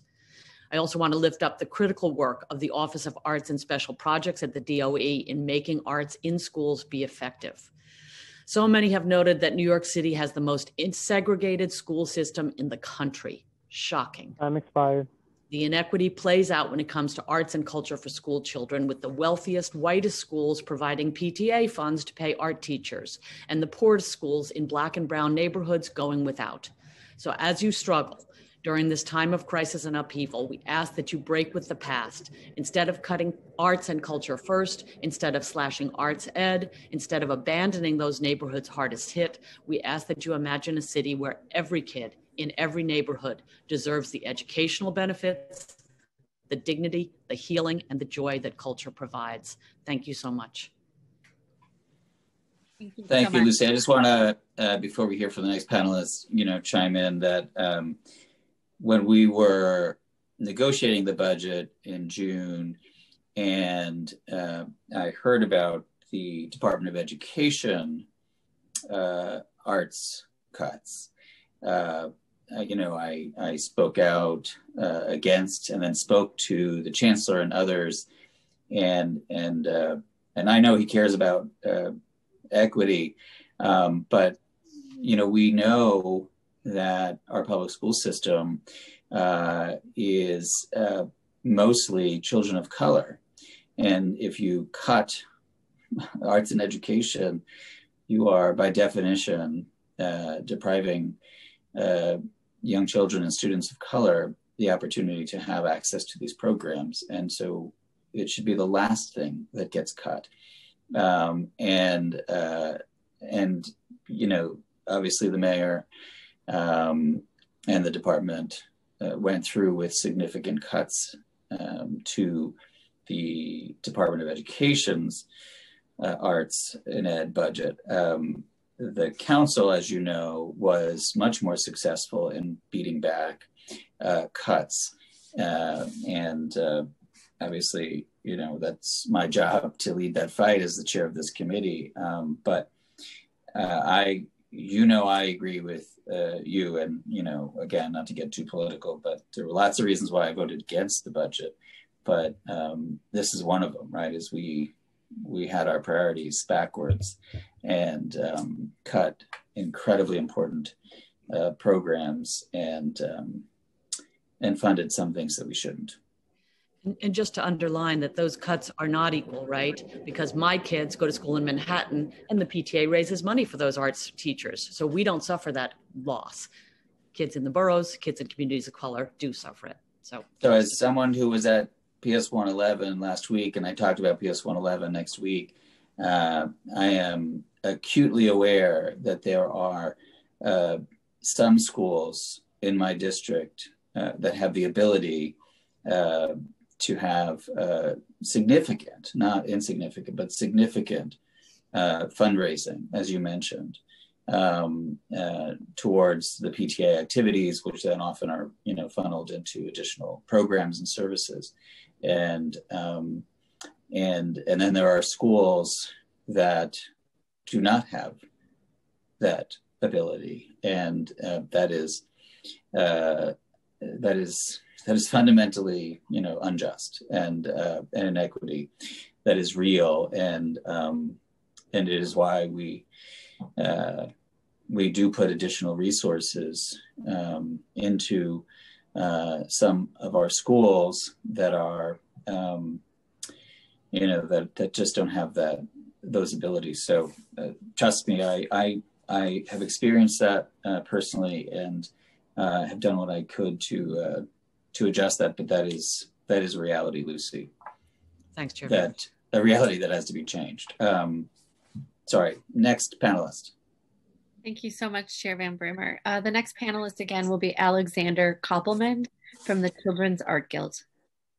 Starting time. Thank you very much. Um, thank you, Chair Van Bramer and uh, committee members. It's a it's an honor to appear before you today, and thank you so much for taking up this important issue of arts education uh, during the pandemic.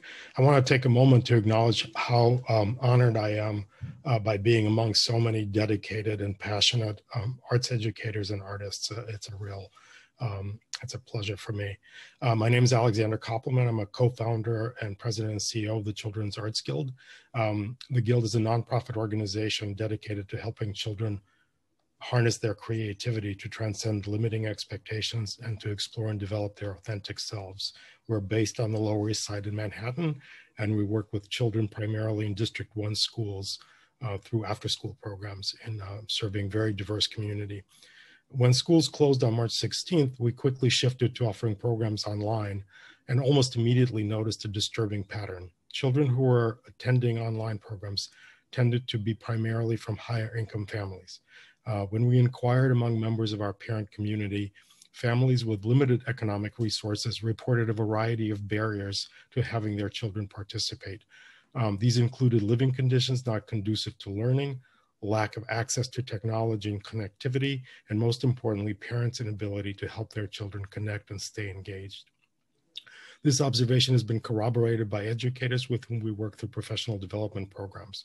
Throughout the past nine months, teachers have been reporting to us how the pandemic has exacerbated the effects of socioeconomic inequalities for their students. Um, as schools and organizations like ours adapt to distance learning, we're in danger of further widening this gap between children from diverse socioeconomic backgrounds. We call on the Council and the administration to allocate funding to ensuring that online arts and cultural education is accessible to all children. Thank you for the opportunity to testify today on this important issue and for working to ensure children benefit from arts education. Thank you very much. Is that this panel? Uh... Uh, there's one more panelist. Okay, got it. The last member of this pan panel is Blair Revis Tyler from Alvin Ailey. Starting time. Hi, good morning, everyone. Um, again, my name is Blair Revis Tyler, and I work with Ailey Arts and Education and Community Programs with the Alvin Ailey Dance Foundation. I'm also a graduate of the Fordham University and Alvin Ailey Bachelor of Fine Arts program. And on behalf of my organization, I would like to thank the New York City Council members for your continued support across several program areas and for selecting Ailey as a cultural provider for the Cultural After School Adventures program. Through the CASA grants and other funds awarded to Ailey by the Council, our 2020 21 school partners are very excited and deeply grateful for the opportunity and financial support to participate in our remote virtual programs. Our community partners have expressed feedback that the arts have been and will continue to be a critical outlet and resource for their youth, especially during the era of COVID 19. One of our longtime school partners commented that the DOE's budget cuts led to their students feeling upset that they might not be able to dance with Ailey this year. A school principal has shared with us the following quote in regard to being able to conduct an Ailey residency remotely this year. Quote, I'm so happy to hear that the residency can continue, and I know that our students will especially enjoy having this opportunity for connection and enrichment, end quote, from the principal of PS 344X Ampark Neighborhood School, and that school is a CASA participant. The Council's commitment to equity and arts education is a leading factor in Ailey's annual reach each year. Our average number of students in New York City DOE schools who participated in Ailey's programs over the past two years is just over 6,000 students reached annually. However, the impact of the pandemic on schools has resulted in fewer schools that are able to support arts education programs, and we are unsure if we will be able to reach 1,000 students this year, an 83.5% reduction in the number of DOE students served disruptions to our programs and the discrepancy in the number we may reach this year could result in negative effects on those students missing out. The stress of the pandemic is having time expired. Is having traumatic effects on New York City students. Such severe changes to one's security and well-being can overwhelm a person's coping responses, in turn impacting motivation and energy level in class. The arts provide creative coping tools and space for social support that buffer against traumatic stress. New York City youth need the arts to nurture their emotional and physical well being, as well as reinforce the principles they learn throughout their academic journeys. And so we are counting on you, uh, Chairman Van Bramer, and uh, the City Council, and we're on your con- continuing your help to maintain a strong support network for arts education programs. Thank you for your time. Thank, Thank you. you very much, uh, uh Blair. And uh, if you could unmute Blair, because I'm going to ask uh, Blair a couple of questions. Um, so the 83% reduction is as a result of the DOE arts and education cuts, right? Because uh, I assume that most of your CASA grants were continued and you will be able to do that programming. Well, we did receive the CASA grants, uh, which is incredibly amazing to have received it this year. We weren't sure what the outcome would be, but given once we received that news, we have been reaching out to the schools to start to facilitate uh, the programs and start our planning process. And we're finding out that the capacity of some of the schools that that have been awarded the the grants, um, it's looking like some schools are luckier and have have more of a capacity to be able to host a program uh, with as many requirements as the CASA program. Um, we're waiting. Uh, we're working with our development office uh, to find out if if we have any flexibility with the the restrictions and requirements of the grant to uh, see whether or not or how how much leeway we have to work with the school to kind of accommodate their their shifting learning models. Um, but so far, uh, I believe we've got nine or 10 awards. Um, and, and so far it's, it's at this point in the year, we're working with about four who've been awarded that grant, which is amazing, which is incredibly amazing. But again, that's, it's certainly at this point in the year, um, fewer than, than we normally would. Um, and so at this point in the year, at the end of the first semester, there are fewer students being served at this point. Um, but we're, we're very hopeful um, about the rest, the remainder of the year, and we'll continue to work with our schools um, that haven't started yet and see how we can uh, be flexible and, and, and just work to accommodate their their um, their schedules and their capacity. Yeah, well, I hope uh, uh, you'll reach out uh, and we can maybe work with you and the Department of Cultural Affairs and the City Council to make sure, because this is a council cultural initiative, that everyone is as flexible as possible to allow you to access uh, the grants, if you've been awarded uh, nine or 10, uh, I know that I, of course, allocate a CASA grant to Alvin Ailey so that PS 111, uh, the school in Queensbridge, uh, has mm-hmm. the program. And uh, if there are any issues with that program, please let me know. Um, Certainly. And because, you know, and I never get tired of, of telling this story, but in the first year that I was a city council member, one of my first school visits was to PS 111. They have a beautiful dance studio in PS 111, mm-hmm. but the principal at the time informed me that there was no programming uh, available in that beautiful brand new dance studio that had been privately funded. Um, and so that's why I awarded Alvin Ailey a CASA grant uh, to activate that space mm-hmm. and uh, to make sure that uh, the children at that school would also be able to see ballet dancers who looked like themselves um, at PS 111. And uh, the first year that I went to the end of the year program, uh, you know, at the end of the year, uh, Ailey uh, had the children perform uh, what they've learned all year uh, at the in the auditorium, and I went, and um, it was a beautiful performance. And at the end, they offered the opportunity for all the children to do freestyle performance. They could dance on their own at the very end. Mm-hmm. And most of the kids were a little shy. And uh, a, a, young woman who was in the middle school uh, uh, danced and was amazing. And afterwards, I went up on the stage and saw all the kids, and I said to her, "You were simply amazing, and it was brave and uh, and great." And the principal pulled me aside, and she said, "That young woman who you spoke to uh, at the very beginning of this uh, year was going through some very very uh, traumatic things in her life and was not doing well in school and not responsive, but we got her enrolled in the Ailey program, and you can see." That her participation in this program has changed her life. Uh, we followed that young woman through high school and through graduation. Um, I believe that that program saved her life, absolutely changed her life. Um, and uh, and so it is incredibly important to me that uh, the Ailey CASA program continue at PS 111.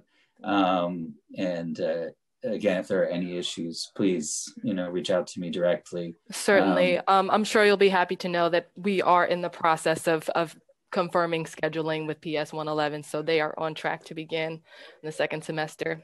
I think it'll be great. great. Thank you for Thank your leadership you. on this cause. No, I absolutely, uh, I love it. I love Alvin Ailey.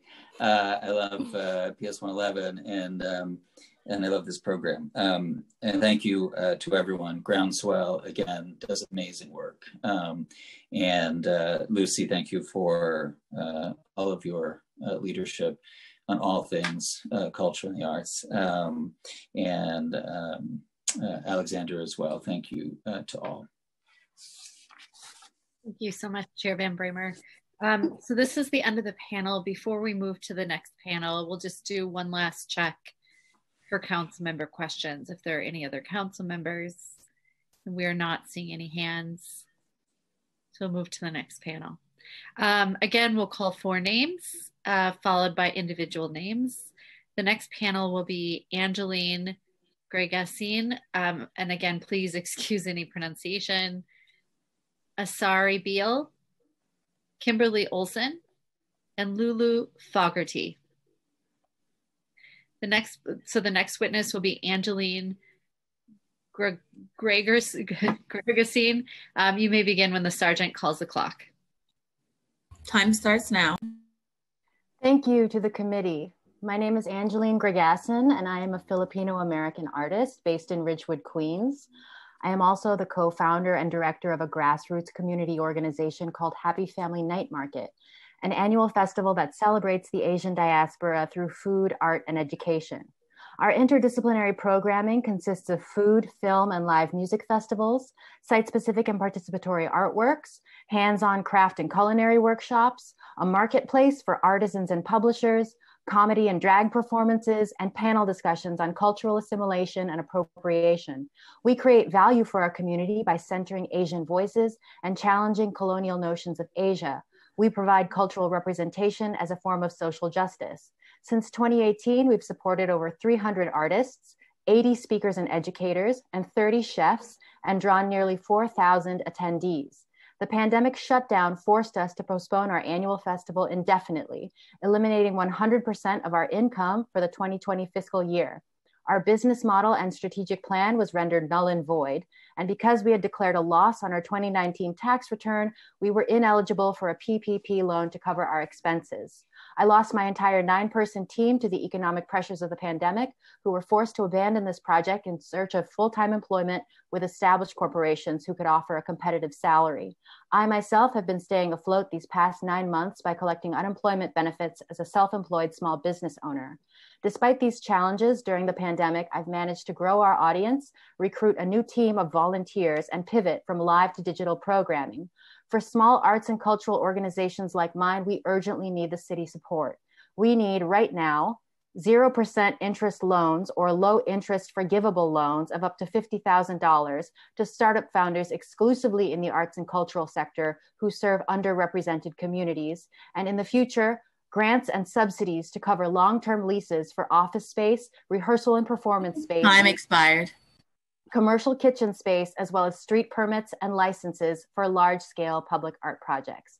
Thank you for your consideration and support. Thank you so much for your testimony. The next uh, panelist will be Asari Beal from Teachers and Writers uh, Collaborative. Thank you. Time starts now. Thank you to the committee for the opportunity to present a testimony in support of arts education. My name is Asari Beal, and I am the Executive Director of Teachers and Writers Collaborative. As one of the first writers in the schools programs in the country, Teachers and Writers has partnered with New York City Public Schools to increase access to the literary arts for over 50 years, offering innovative creative writing programs taught by poets, playwrights, novelists, and other professional writers. We also offer arts programs for seniors and resources for teachers. We're based in Brooklyn and serve communities throughout the city. The pandemic has changed everything about the way we operate.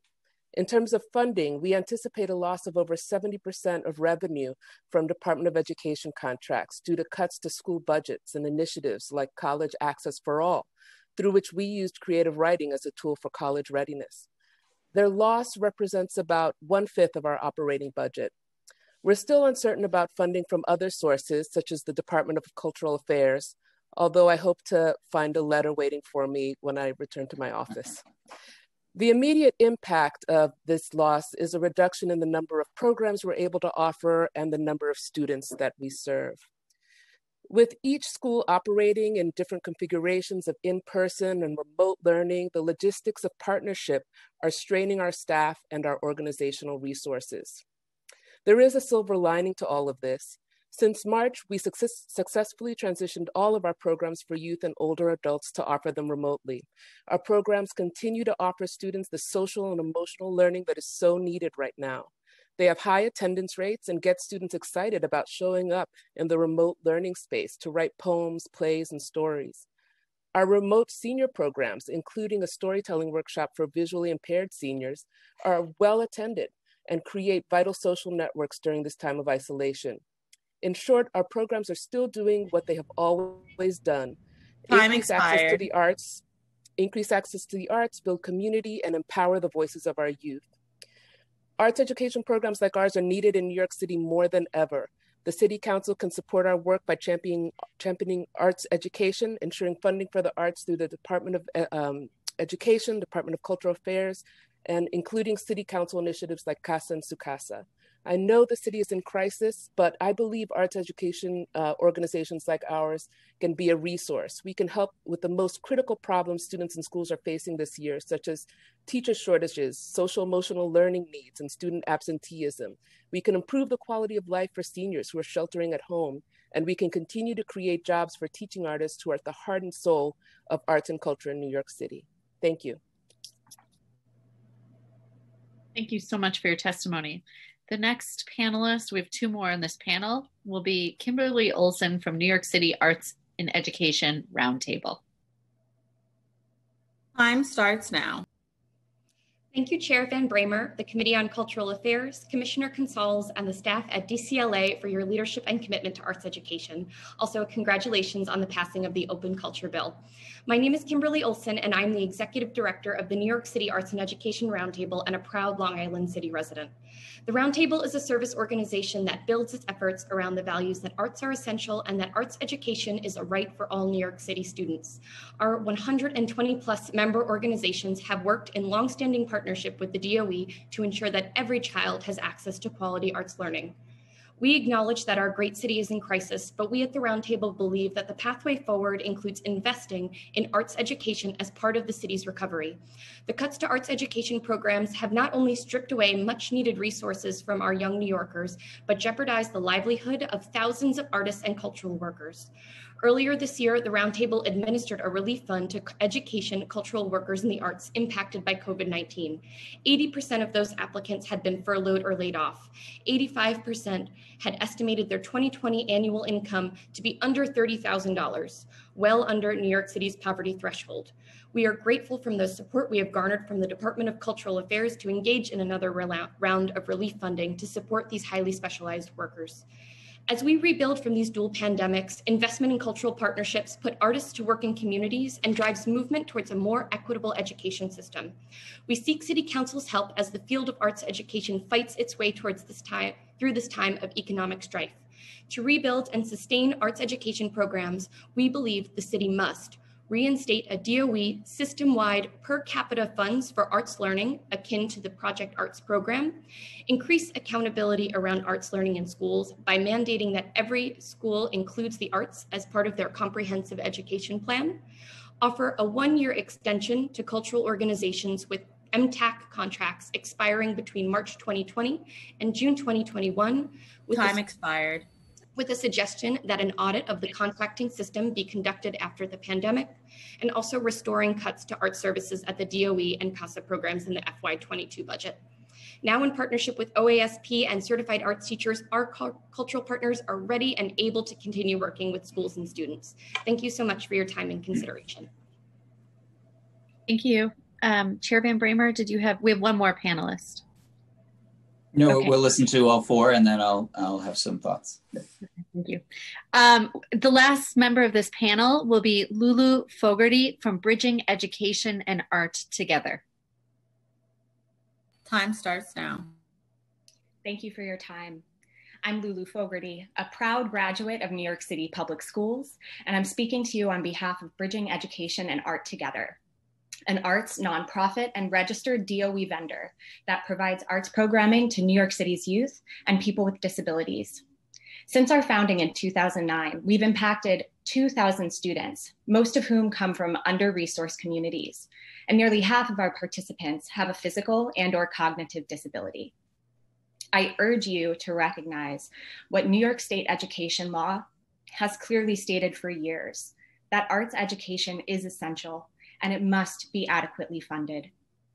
Engagement in the arts is critical to youth development. The collaboration necessary for art making builds foundational life skills such as critical thinking, problem solving, teamwork, and empathy.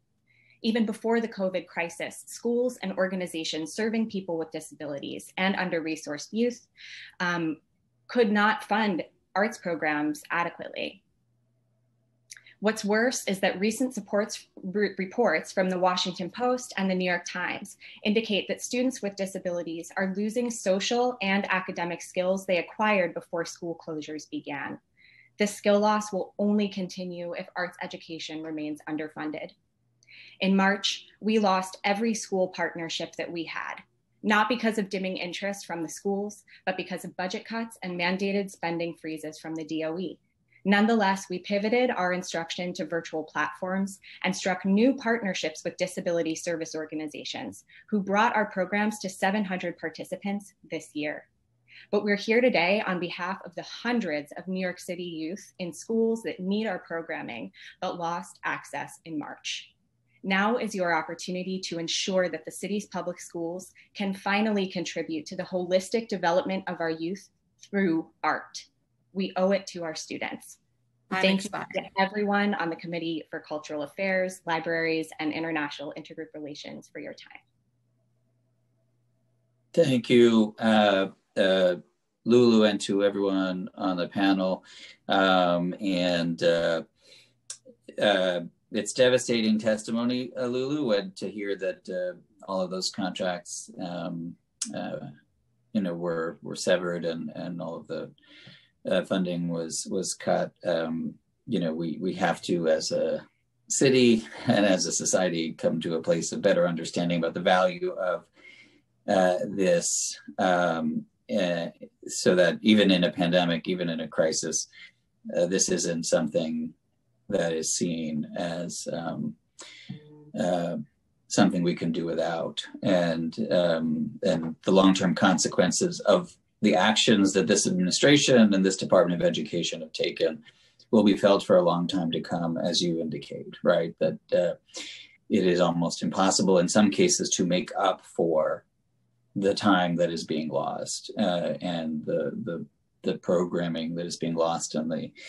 uh, enrichment that's being lost um, and the engagement that's being lost, particularly um, for some uh, children. Um, and uh, Kimberly, thank you for uh, all the work that you do and the recommendations that you always bring um, uh, to this. And we will be obviously talking with the chancellor and uh, in the administration about um, all of these things. Um, uh, Asari and Angeline, um, there are so many things going on in Ridgewood that are exciting, um, and uh, this is uh, yet another one. Um, uh, my husband and I watched a program uh, uh, that benefited the Ridgewood Tenants Union a couple of Sundays ago, um, a comedy show and and uh, some other things, and appreciate your work and and we absolutely should be doing all of the things that you talked about in terms of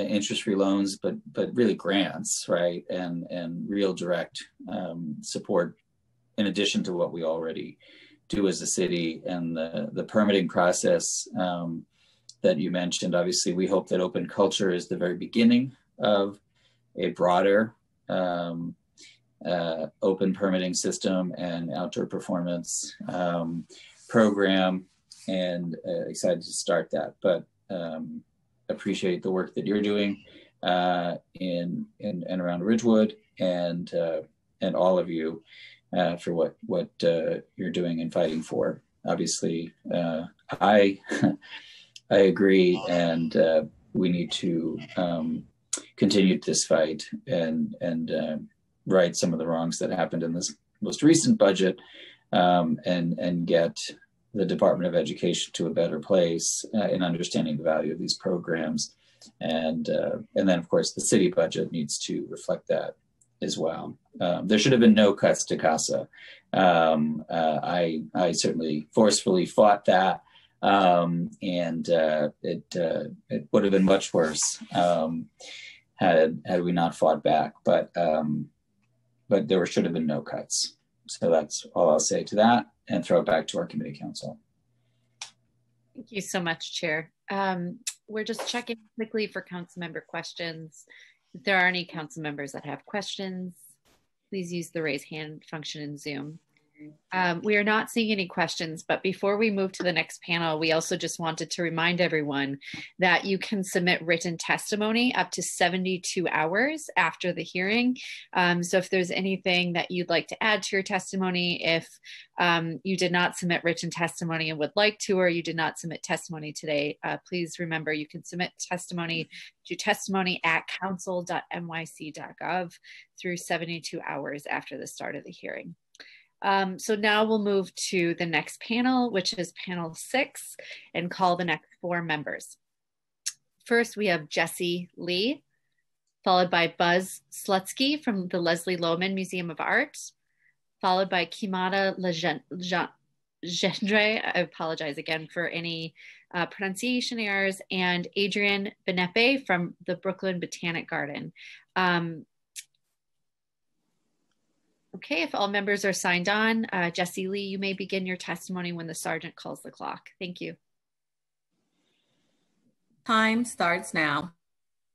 Hi, my name is Jesse Lee. Uh, I am uh, a director of operation at Statement Arts, a nonprofit in New York City providing a performing arts education, visual and performing arts education um, we have a, a, a, after school and summer program, as well as a college a readiness program from a third grade to college students. And a lot of alums come back to us as well as they go through their college life and be uh, get ready for their career.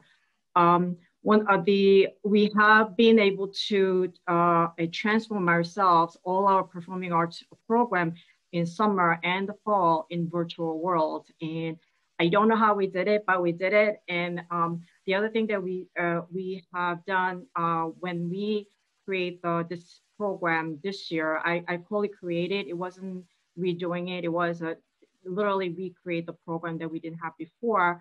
That we spoke to students and parents. We also uh, spoke to the teaching artists and school teachers that we partner with and throughout the New York City, constantly asking a question, what are the things that we need? What are the things that, that we, we didn't have before that emerged because of COVID-19? One of the issues that came up was about um, creating a sense of a community, creating a, a, a, platform or space where the students in command just share their challenges and issues, their struggles. And, and those are the things that, that was a much needed and that turned it into our one of our program results, which, which is part of a design lab and studio, where students can come and express their creativity and produce a, a performance or produce a video, anything like that. Um, so we're even able to do virtual cabaret uh, in November. All these are came from the students' feedbacks and their desire to be part of the a, a creative uh, projects and activities they're lacking and, and one of the biggest things that we hear from the students are that they want a space in place they can actually work on these things that interesting to them. They are able to use this creativity, creativity projects and activities as outlet of how to deal with their mental issues and social emotional issues and things like that. So one thing I like to say, instead of talking about our program more, one of the things I like to bring it up is that when um, there is a huge issue with the funding that we we are almost every month there's one or two funding. They Time either expired. they are stop stop uh, funding us or the reducing funding. The other thing that I like to bring it up is a couple of things we need. One uh, is is a digital equity. Uh, one of the biggest challenge again, uh, uh, many people said about it the device issues, uh, that, that they don't have a space, they're literally working off of a bathroom sometimes, and they have an internet access is another issue. The last issue that we like, we really need help is that if we can get more data and metrics, information that readily available as things are moving fast, those are the tools and resources that we often use to uh, to get more resources, more funding. So those are the another uh, last thing that we really need from from many different communities, uh, from especially from the city, if that's possible, if that's something that can support. Thank you very much for the opportunity today. I'm really, really grateful for being able to be here and and just sharing what's going on on the ground with the students and parents and our teaching artists. Thank you so much. Our next panelist will be Buzz Slutsky from the Leslie Lohman Museum of Art. Hello. Thank you to the Time council for the now. opportunity. Thank you to the council for the opportunity to present testimony in support of arts education. My name is Buzz Slutsky, and I'm a teaching artist at the Leslie Lohman Museum of Art. Before the pandemic, the teaching artists of Leslie Lohman developed intersectional residency curricula and visited gender sexuality alliances of NYC public schools, sorry, middle schools and high schools. During our visits, we shared images and stories from queer art history, especially the AIDS movement and the Stonewall Rebellion, and created space for them to make art in those traditions, in effort to show youth that making art can be a way of fomenting liberation and change the conditions that affect queer people. The GSA visits helped students learn new identity words that they had never heard before, and it was powerful to watch youth transform from timid and scared of being found out to being proud, empowered, and opened up through feeling connected to history and community. As a non binary and transgender person who never met a single out transgender person until adulthood, it's amazing to see how my mere presence can show youth that it's possible to be a self actualized adult, an artist, and be a transgender and non binary person. In March, once it was clear that it wasn't safe to work in schools, we had a difficult time reaching teachers that were GSA advisors who still had energy to work with us remotely on top of their grueling the grueling nature of their online jobs. Because of parental homophobia and transphobia, it can be hard to connect directly with students, especially if they are not out.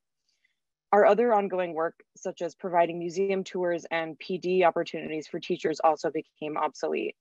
Without continued sources of funding, it was impossible to strategize to find ways of working to connect with LGBTQ youth. The team of teaching artists decided to put our little last tiny bit of funding into creating a series of captioned videos in Spanish and English called Queer Art TV, in which we engage with works from the museum's collection and encourage viewers to make artwork in the spirit of these works, similar to what we would be doing with youth in the GSAs while this was an exciting direction, it still doesn't reach youth to the extent that it did before the pandemic. Um, on September 15th, 25% of the museum staff was laid off, including a curator, an archivist, a senior staff member, and most of the staff members of color. In addition, the director of education was laid off in May. These cuts left a shell of the former staff to juggle multiple jobs. I fear that if the museum's educational program or programming or the museum itself fa fails to survive, a generation of students won't learn about their queer and trans ancestors like Marsha P. Johnson and Sylvia Rivera and won't see themselves reflected in art history and will miss out on experiences that could save their lives. Thank you for your consideration and support. Thank you so much for your testimony. Um, the next panelist will be Kimada Legendre. Time starts now. Good afternoon, Chair Van Bramer and members of the committee. My name is Kamada Laja, and I am head of education at the Queens Museum. Thank you for your continued support of arts and culture during these difficult times, and thank you for the opportunity to testify today. Like many other members of the CIG, the operations of the Queens Museum were significantly impacted by the COVID-19 pandemic. After we shut our doors, we were faced with many challenges, including programming to the public and meeting payroll. Despite this, we continued to offer essential programs and resources to advance and support public health, public life, and public benefit for our constituents. Despite significant, significant loss in revenue and steep cuts to programming, we were still able to move forward with a full suite of multilingual educational and cultural offerings including our Queens Teens program, where teens have the opportunity to create art, discuss social justice, practice self-care, and attend various workshops and events. This group has now grown in size from 30 teens from Queens prior to the pandemic to 120 teens from across the five boroughs and Long Island since the pandemic. Participants created a stay-at-home guide featuring art making and self-care prompts. Most recently, our teams created a civic engagement guide to help both younger and older teens become active and involved in civics in their local communities. Our staff and teens regularly volunteer at the food pantry we started on site with La Jornada and Together We Can Community Resource Center, where we have served thousands of families since June. Queens Museum will continue to look at this recovery through the lens of arts and culture, as we strongly believe that a healthy cultural life will be an important part of the recovery and well-being for our communities. Thank you to the committee for this opportunity to testify. Queens Museum looks forward to our I'm continued expired. partnership with the council and values your leadership through this crisis. Thank you so much. Thank you so much for your testimony. The final witness on this panel will be Adrian Benepe from the Brooklyn Botanic Garden. You may begin your testimony when the sergeant calls the clock. Time starts now. Thank you, Chair Van Bramer and committee members, including I saw Majority Leader Cumbo, whose district encompasses the entire Brooklyn Botanic Garden. I'm Adrian Benepe, President and CEO of the Brooklyn Botanic Garden. BBG is a vital practitioner and proponent of informal, inquiry-based science education. Our children's education programs invite both casual visitors and program participants to practice scientific skills and concepts through the exploration of plants. BBG's dozen plus education programs comprise a ladder of learning that engages participants of all ages in hands-on experiences that meaningfully connect them to the world of plants. More than 26,000 people were served this year so far. Although in-person programming was suspended for the spring and summer when we were closed for four months, we quickly pivoted to new and adapted virtual services, including e-newsletters with plant-based activities, centered discovery and children's garden families, participation in WNET Group's Camp TV, a national public television series, online training in horticulture, cooking, and science for our 50 garden apprentices, a Project Greenreach, that's our school program curriculum website featuring plant-based lesson plans and activities for K through 8 teachers, inquiry-based professional development for teachers at the Brooklyn Academy for Science and Environment, and participating in urban adventure schools and more. As with the New York Botanical Garden, our children's garden was turned into a farm. We provided more than 1,200 pounds of food for needy families in our communities. Our education team continues to develop and adapt programming for the schools, students, and teachers who depend on the garden's education and information services, and we have piloted virtual field trips this fall. Staff educators teach students live from the garden or their homes, meeting classes on their school's preferred, preferred uh, remote learning programs. In schools that opt for asynchronous programming, students watch videos filmed in the garden's conservatories and greenhouses, which Time the the expired. way, and follow BBG curriculum guides. The garden has focused on promoting virtual field trips to Title I schools via Project Greenreach and District 75. The education team has also worked to ensure our curriculum remains hands-on by mailing hundreds of science-based activity kits, including plants, to program par- participants. I want to say how inspired I've been by hearing all the stories of my colleagues in this business facing the challenges and surmounting them.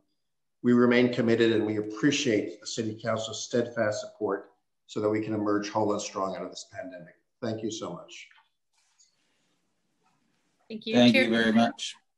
uh, always good uh, to see you, uh, Adrian, and uh, uh, and good to hear that uh, uh, BBG, which obviously was able to welcome some folks uh, on site, um, you know, was also uh, going virtual and uh, uh, letting folks who couldn't or didn't feel comfortable or or for whatever reason didn't have access, uh, still able to uh, to partake in in the programs and and the grounds even um, virtually, which is so important. Um, and uh, Kamada, thank you.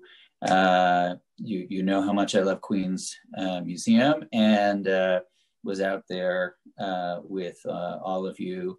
Uh, I guess a couple of months ago and saw some of that amazing work that you talked about and uh, the the pantry and all of those young people.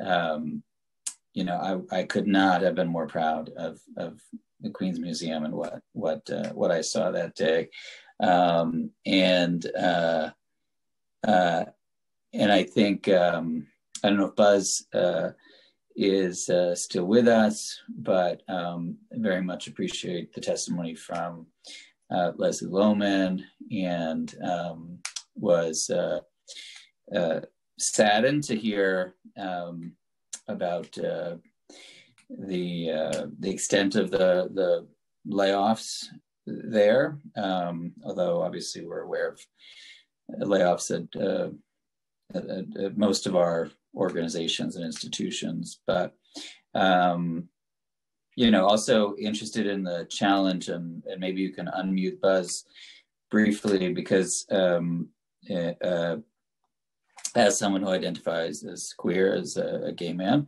um, you know, the and who was not out in high school. Um, but uh, the the um, the work that you do um, in going into schools is terrific, of course, and and meeting with GSAs and the advisors and then and the students.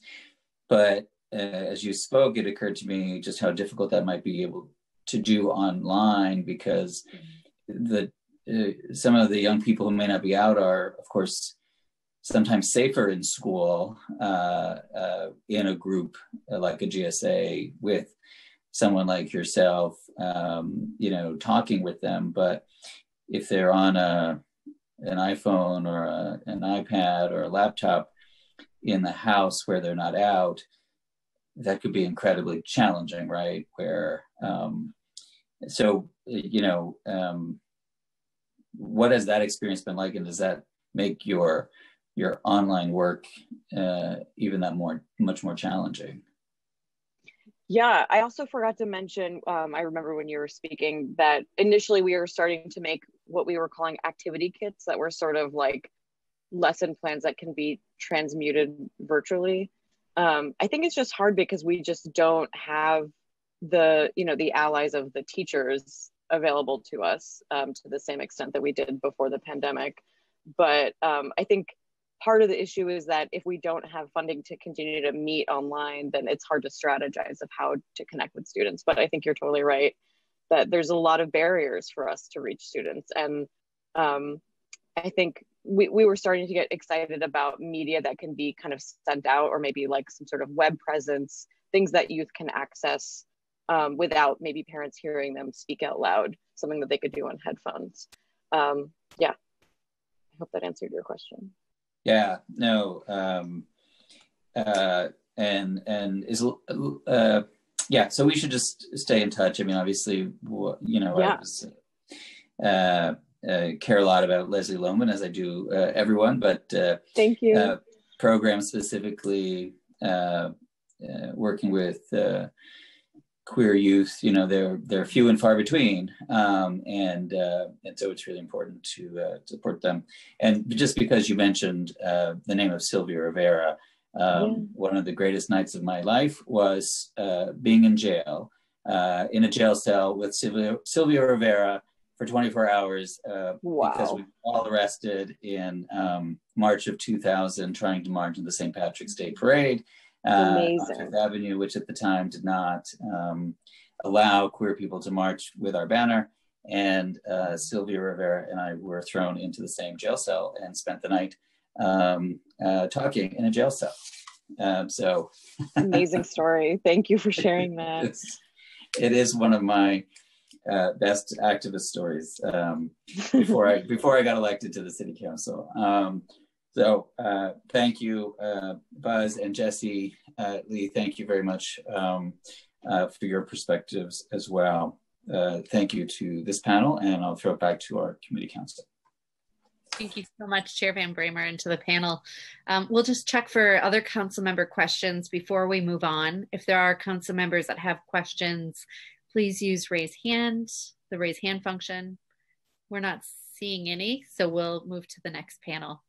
The next four panelists, uh, panel seven, will be Melissa Diaz, Heather Maxson, Mia Nagawiecki, and Dominic Hood. So the next witness will be Melissa Diaz. You may begin once the sergeant calls the clock. Thank you. Starting time.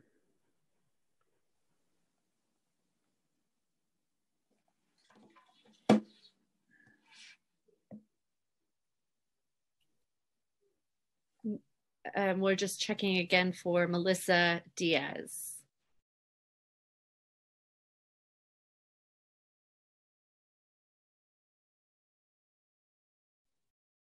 She's there. Do you see her?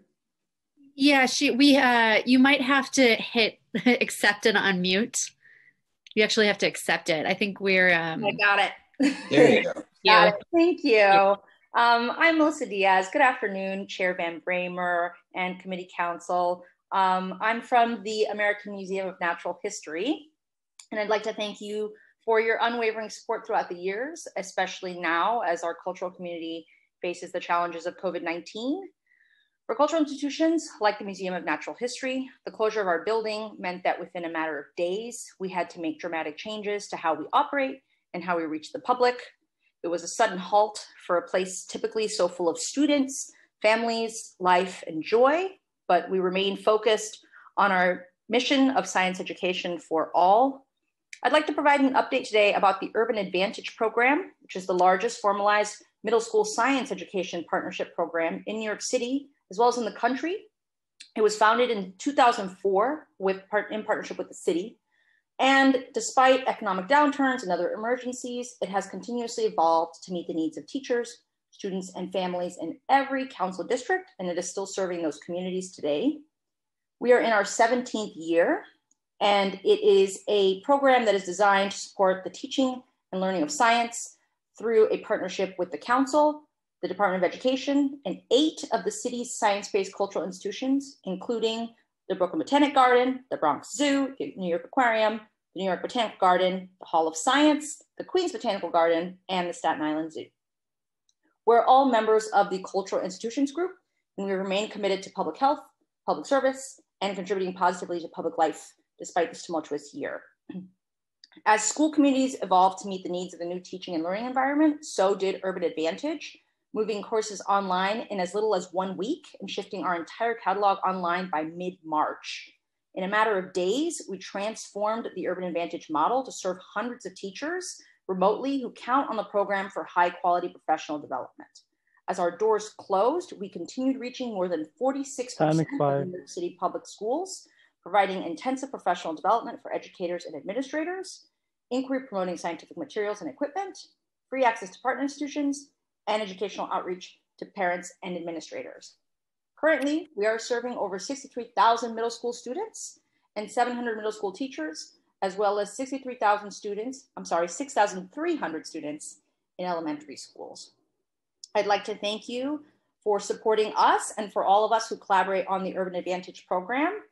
It is one way the council has continued supporting the teachers, parents, and students who have overcome these months of instability and since then, we have continued to offer vouchers to families who come to the museum on their own. I'd like to thank you all for your support for Urban Advantage over the years. And if you haven't yet, I encourage you to come and visit us. Thank you for your leadership. And of course, I welcome your questions. Thank you so much. Uh, we'll move to the next panelist and then accept questions after the panel. The next uh, witness will be Heather Maxson from the Whitney Museum of American Art. Starting Hi, everyone. Time. Hi, um, I'm Heather, and I'm the Director of School, Youth, and Family Programs at the Whitney Museum. Thank you, Chair Van Bramer and members of the committee for hosting us today. After the Whitney closed temporarily in March, we worked quickly to adapt to adapt programs, collections, and exhibitions to be available online, and to ensure that while our doors were temporarily closed, the spirit of the Whitney remained open to all.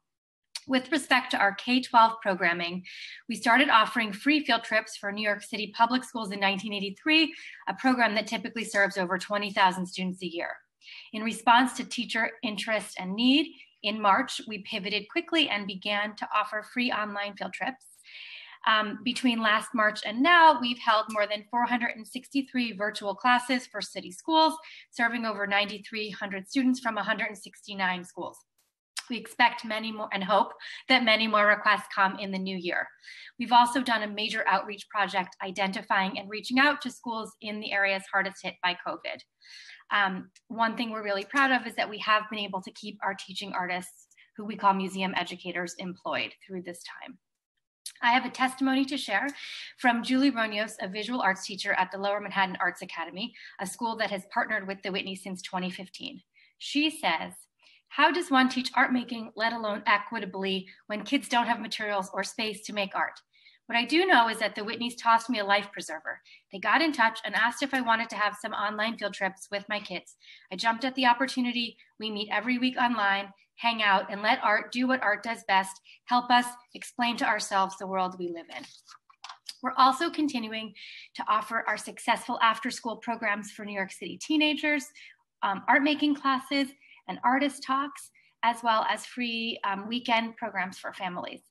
Um, and I just wanted to thank you so much. We're so grateful for the city's support of the cultural community and arts education during this difficult time. Thank you so much. The next panelist will be Mia Nagawiecki. Thank you. Starting time. Hello, Chair Van Bramer and Committee on Cultural Affairs. I'm Mia Nagawiecki, Vice President for Education at the New York Historical Society. Thank you for the opportunity to offer testimony today about how COVID-19 has affected the New York Historical Society and how our services have continued throughout this time, uh, thanks in no small part to the vital support of the Department of Cultural Affairs and the City Council, so thank you. This has been a challenging year, and we are continuing to feel the consequences of our temporary closure. Uh, attendance was expectedly low in fiscal year 2020, and the effect of income loss on our operating budget has been so severe, excuse me, that we have been forced to implement staff reductions and furloughs across every department. Despite these difficult setbacks, New York Historical has remained committed to its core mission of education. In response to school closures, we launched History at Home on March 23rd, turning our slate of K-12 programming into virtual offerings. Under History at Home, social studies enrichment lessons have been transformed into free weekly virtual sessions tailored to all grade levels. Museum-based field trips are now offered as virtual tours during which museum educators lead classes through our digital exhibits. Teens and teacher programs have moved online as well, quickly adapting to remote working sessions.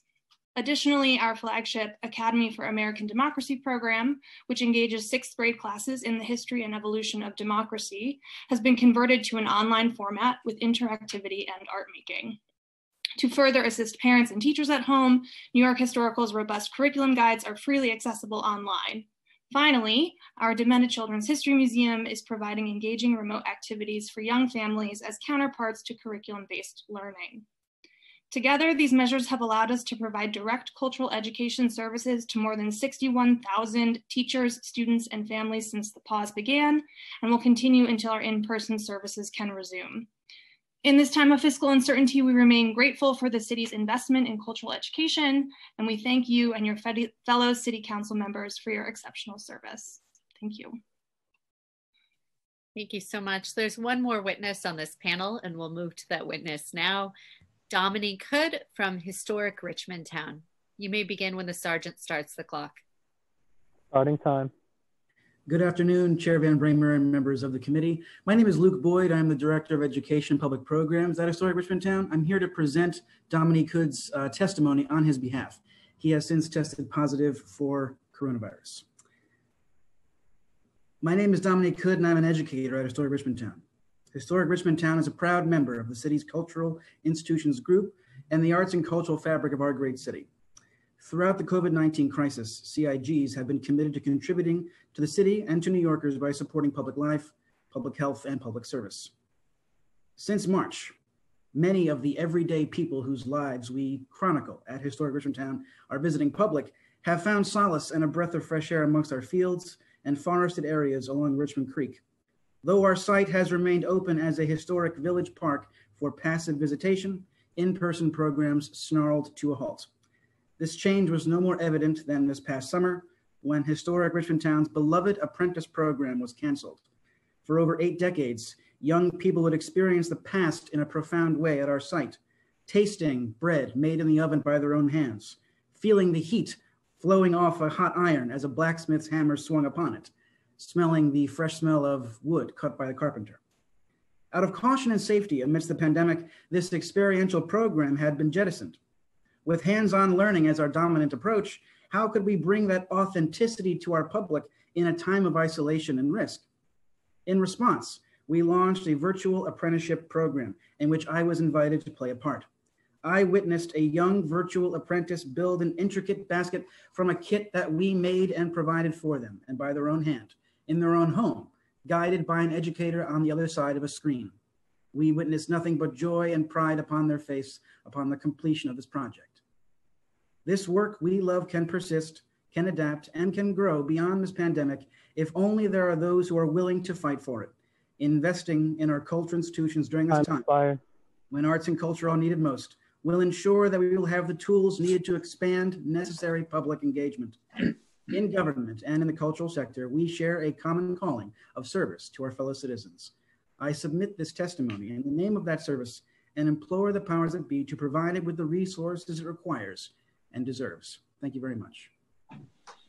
Thank you, Luke. Um, uh, I have been in that woodworking uh, shop a couple of years ago with uh, uh, Councilmember Matteo, um, and uh, uh, appreciate uh, your testimony. Uh, and Mia, Heather, and Melissa, you know, big fans of all of the work and the institutions that you represent, and um, grateful that you're able to do as much as you are currently able to do on behalf of the people of the city, or particularly the children. So thank you very much. Thank you so much, Chair Van Bramer. Uh, we do not have any other council member questions for this panel, so we will move to the next panel. The members of the next panel, or panel eight, will be Ali Abate, um, and again, please excuse any pronunciation errors, Paula Heitman, David Lawson, and David Shookhoff. So the next witness will be Ali Abate, Abate. Um, you may begin when the sergeant calls the clock. Thank you so much. Starting time. Good morning. My name is Ali Abadi. I want to thank Councilmember Van Bramer and the Department of Cultural Affairs for this opportunity and their ongoing support. Um, I'm the Director of Education at the Queens County Farm Museum, and I'd like to share with you how Queens Farm impacts our city and how we've been affected and have been adapting to the ongoing COVID 19 crisis. Uh, Queens Farm is one of the longest continuously farmed sites in New York State with a 323 year legacy of growing food in New York City. We're a 47 acre historic site and urban farm. We pride ourselves as a site that is open daily and free to the public for 354 days of a typical year. Pre COVID, we serve over 400,000 visitors annually through school field trips, public events, and daily visitorship. And in a non COVID year, over 100,000 of those visitors are students who participate in our acclaimed school to farm education program. These students come from every New York City Council district in the Bronx, Brooklyn, Manhattan, and Queens. And often their visit to Queens Farm is their first visit to a working farm. Queens Farm serves 54% of Queens elementary schools that serve NYCHA communities, 51% in Manhattan, 40% in Brooklyn, and 36% in the Bronx. Um, the deepest impacts to our organization due to the pandemic are felt by the loss of our in-person education. Over 106,000 students were not able to visit us this year. That's based on previous year's attendance. And we were on track to head in that direction had we not closed. 113 program dates have been lost since the start of COVID, and those are days when field trips would have taken place. Over 400 hours of educational time are lost, and we've suffered staff reductions totaling 61% of our staff that have been unemployed due to the loss of programs. Uh, revenue loss from the loss of these programs totals about a million dollars. These numbers represent a huge loss for our city, lost enrichment opportunities for students, teachers, and parents, and lost opportunities for outdoor learning in a unique environment that supports classroom learning, child development, and connection to nature, and promotes healthy eating and well-being. They also represent a massive loss for our dedicated staff of educators who benefit from and sustain themselves as professionals in arts and culture from this programming and who are suffering the financial burdens of lost employment. Um, what we've done in response has been a combination of virtual programming and a much reduced amount of in-person programming. We've created virtual learning through social media that we began as early as March 23rd and had over 200,000 impressions while the farm was closed to the public. We created remote curriculum support for teachers through resource guides and converted curriculum that they could use. We've done synchronous and asynchronous virtual tours for schools and provided outdoor experiences for the programs that could travel to us once we reopened as of August 2nd. We've maintained our CASA connections um, by preparing virtual opportunities and at-home off-screen activities for students and are getting ready for our CASA partnerships that'll be starting up this year. And one of the biggest impacts I think we had during the entire pandemic was a farm camp that we were able to offer in partnership with Common Point Queens this summer for seven weeks of programming for small pods of students that provided hands on farm activities. And we saw through these programs the power of farm education and how grateful our students and families that participated were for this program. Thank you for this opportunity and your time. Uh, we look to the council to help us in bridging these losses during this time of continued uncertainty and as we work to heal and move forward towards a hopeful, hopefully healthier and brighter future. Thank you for your testimony. Our next uh, panelist will be Paula Heitman from Marquis Studio. You may begin once the sergeant starts the clock. Starting time. Good morning. My name is Paula Heitman.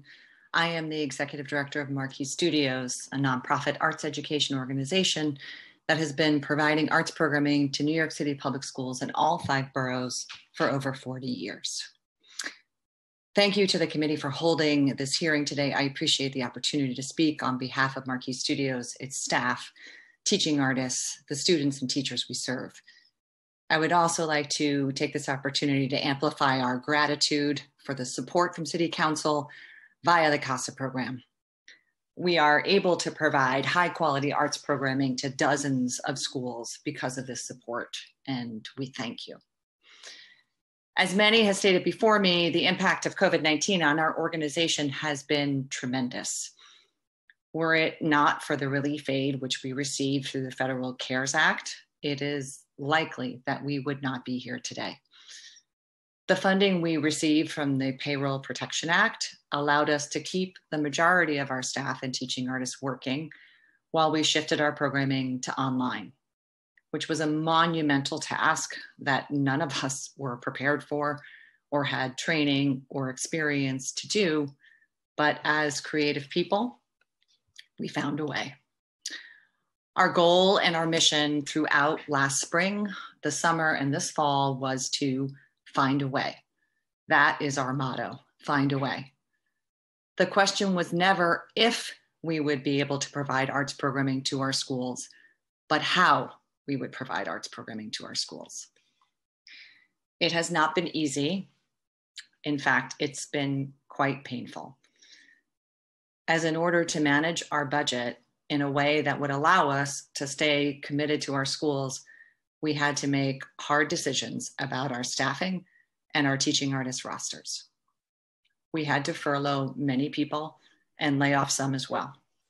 And the biggest reason for this is cash flow issues. Last spring, we were not able to predict when or if we would receive payment for programming we delivered remotely. School budgets were, in fact, frozen. City funds were delayed and yet we found a way as we believe deeply that the arts are essential. In closing, I would like to share a statement from the principal of one of our partnership schools, Chris Retta, principal of T PS 10X, a District 75 school, and a CASA recipient. Chris says, for our students participating in remote learning, access to materials in the home has been limited exposing the inequities that our students and their families face. All children should have the ability to express themselves while being provided the tools and support to do so. The arts is a substantial force in the growth for every student.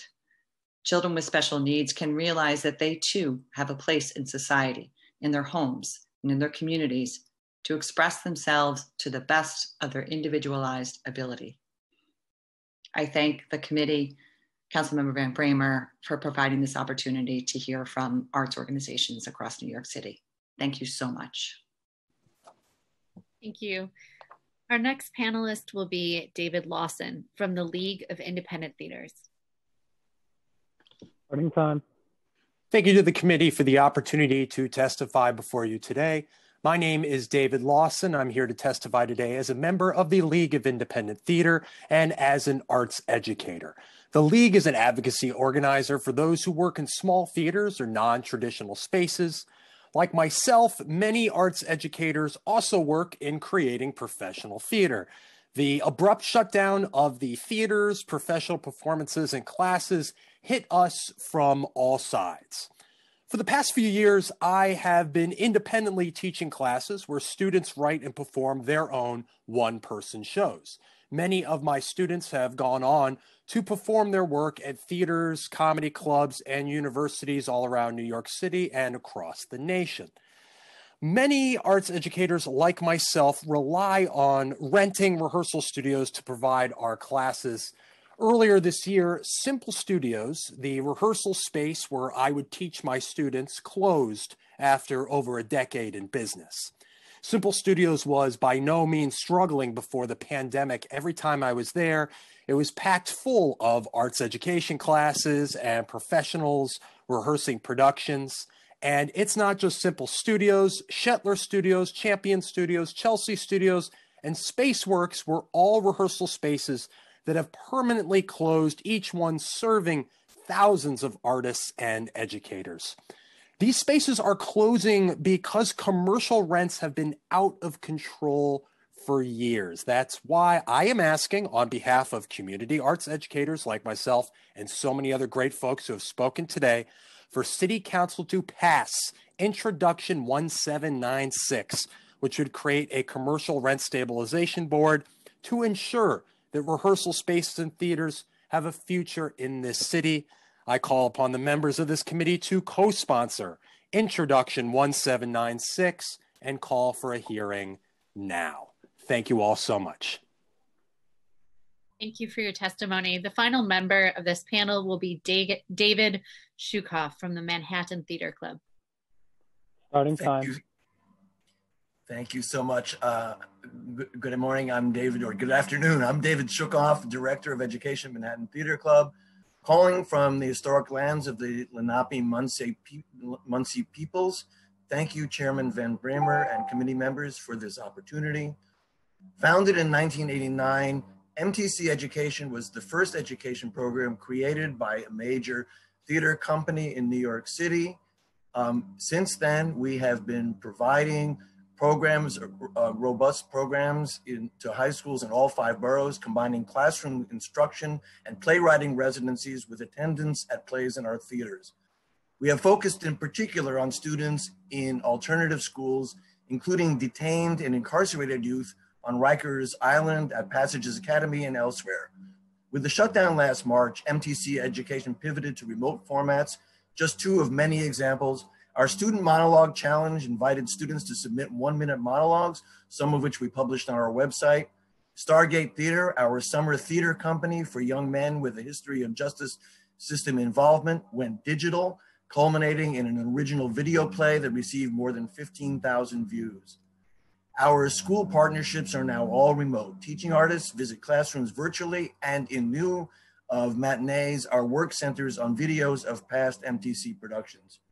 To be sure, we have encountered substantial cutbacks and challenges, among them navigating the switches between hybrid and all remote attendance, and crucially, echoing other witnesses, insecure or non-existent internet access for significant numbers of students, especially those from under-resourced communities and in detention centers.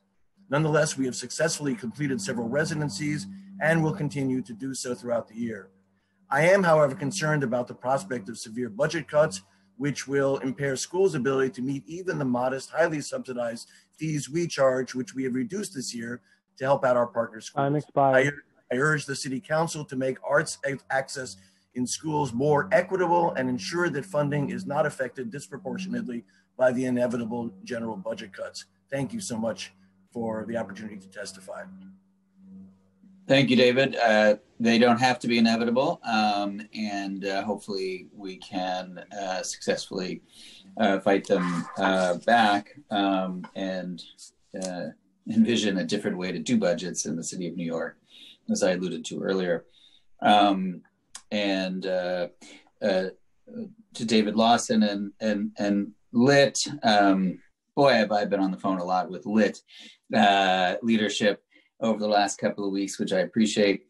And we have a long relationship. Uh, and I uh, am a big supporter of commercial rent uh, control and uh, uh, also the Small Business Job Survival Act. Both of those uh, bills should move and would help our our community an awful lot.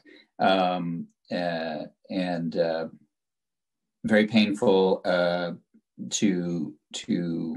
I mean, I know these things uh, because I am of this world and and i'm in this space with all of you so much. But when David, you talk about those rehearsal spaces that are closing, and Paula, you're uh, talking about the the staff losses at uh, Marquis and the uh, just very very deeply painful. But I'm grateful that you continue that, and uh, uh, we love the Queens County Farm Museum, of course, um, and and uh, the programs that go on there. And uh, uh, thank you very much, uh, Ali, for uh, your work.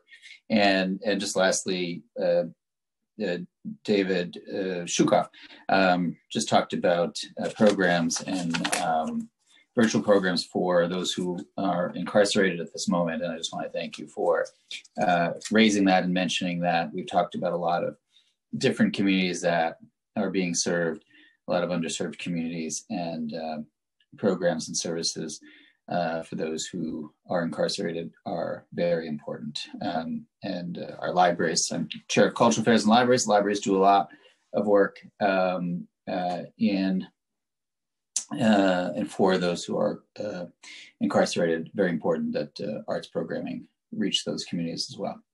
So thank you all. Thank you, Chair Van Bramer. We have no other council member questions, so we'll move to the next panel.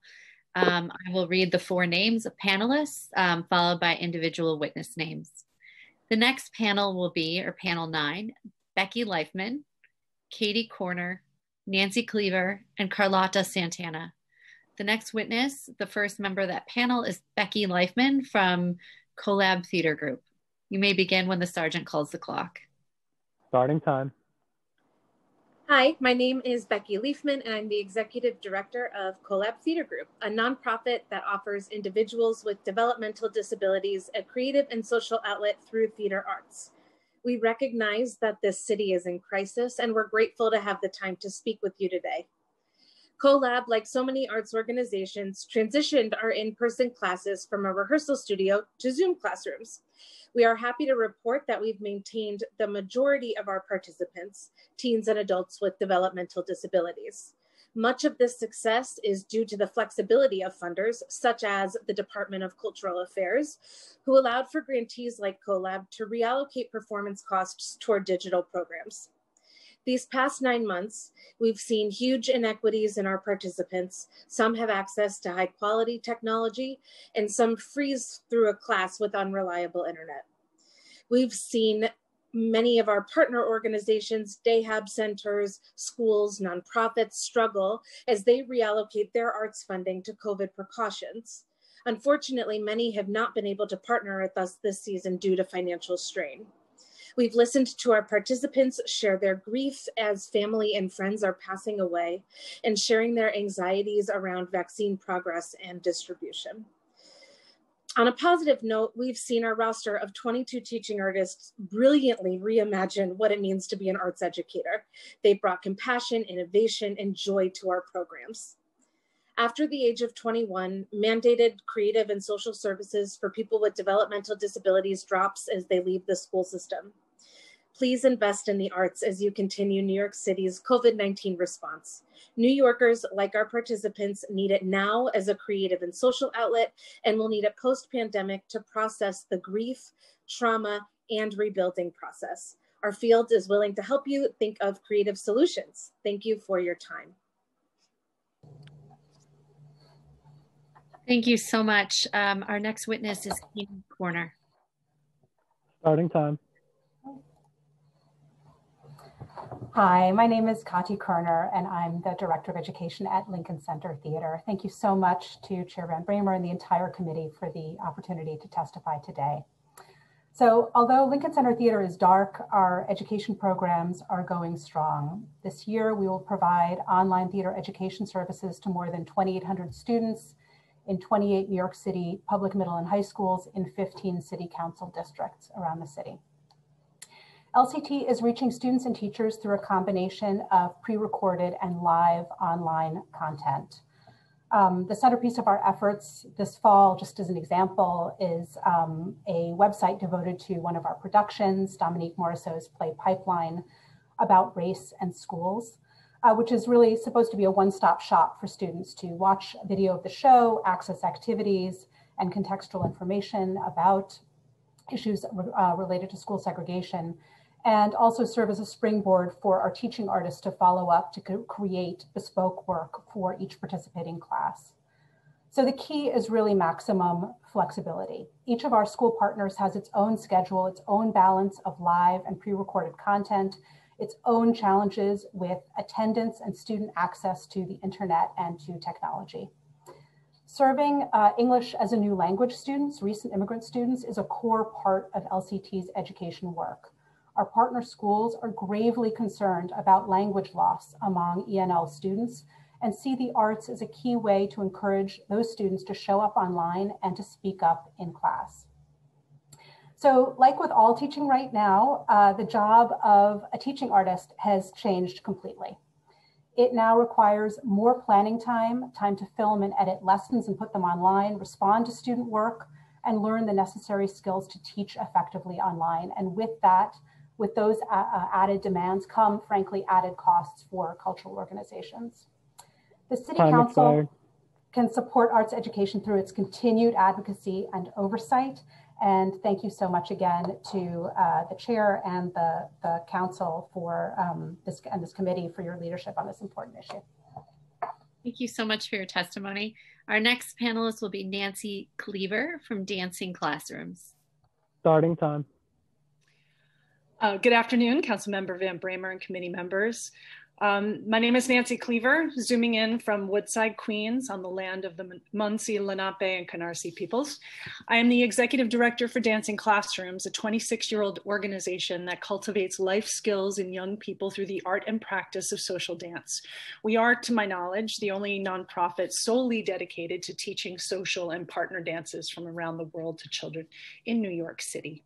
In 2019, pre-COVID, we were on track to serve 150 schools across every borough and almost 17,000 New York City public school students.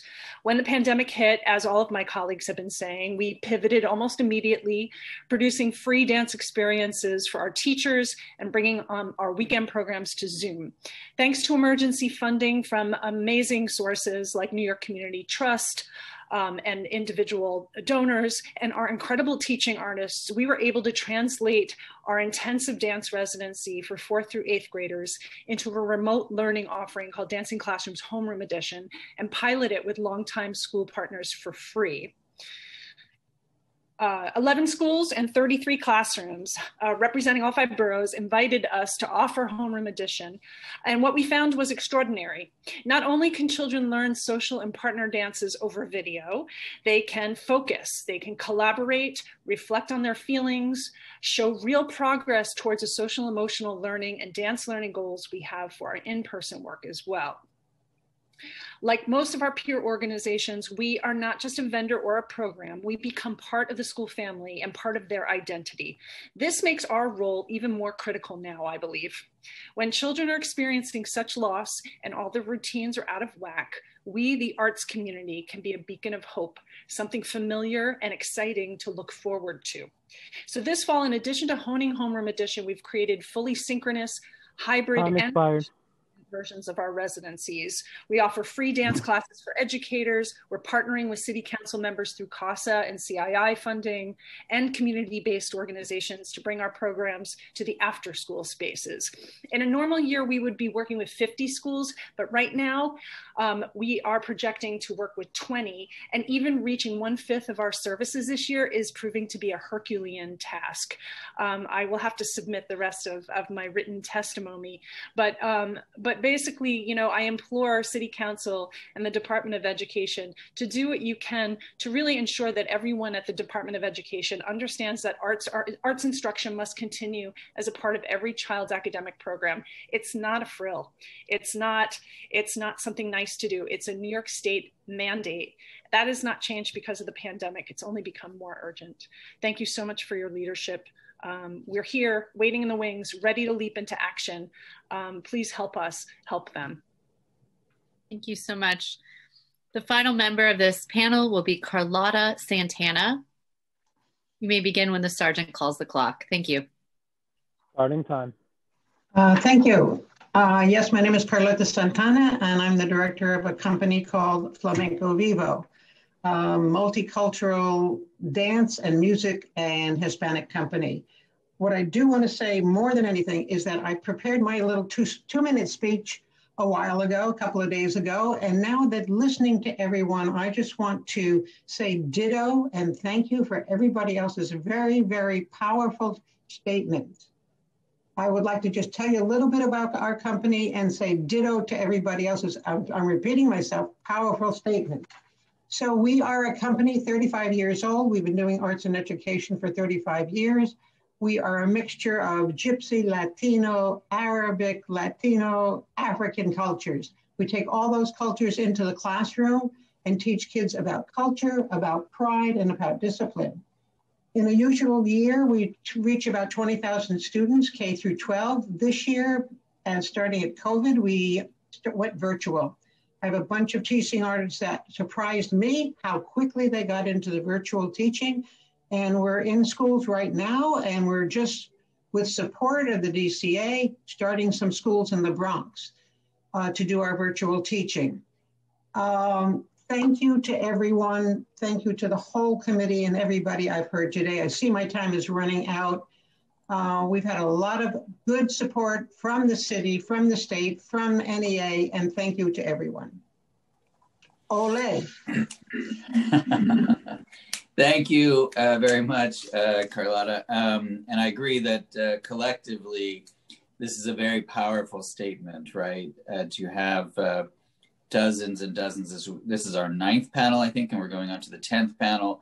Um, uh, dozens and dozens of people and organizations um, and artists who care so much about this and, and who, against all odds, are continuing to provide uh, as many services as they can to children uh, who desperately need them. Um, Nancy, thank you very much um, for your work.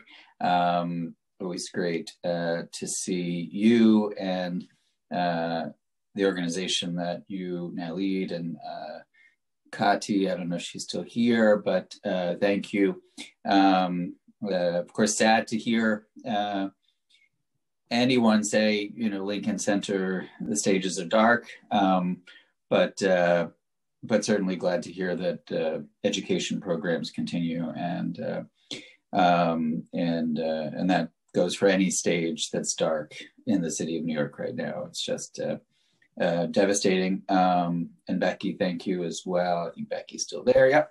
Um, and uh, appreciate everything uh, that all of you have had to say. And um, it's it's kind of you, Carlota, to say that we're the, the city, state, and federal governments have done a lot. Uh, we can do more, and we should do more. Um, and uh, and that's our job, right? Is to keep fighting for this community who has continued fighting through this unbearable time, uh, including drastic reductions in, in uh, support. So thank you all for continuing your work.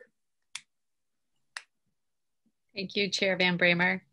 Um, we do not have any council member questions, so we'll move to the next panel. The next four members of the panel will be in panel 10, Flannery Gregg, Jerome or Jerry Corman, Carly Eckert, and Judith Insel. Mr. Gregg, Flannery Gregg, um, you are the next witness and you may begin when the sergeant calls the clock. Thank you. Starting time.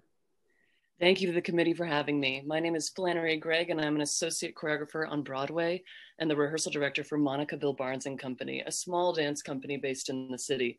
Through the dance company, I've had the opportunity to work with the Hunter College Dance Department.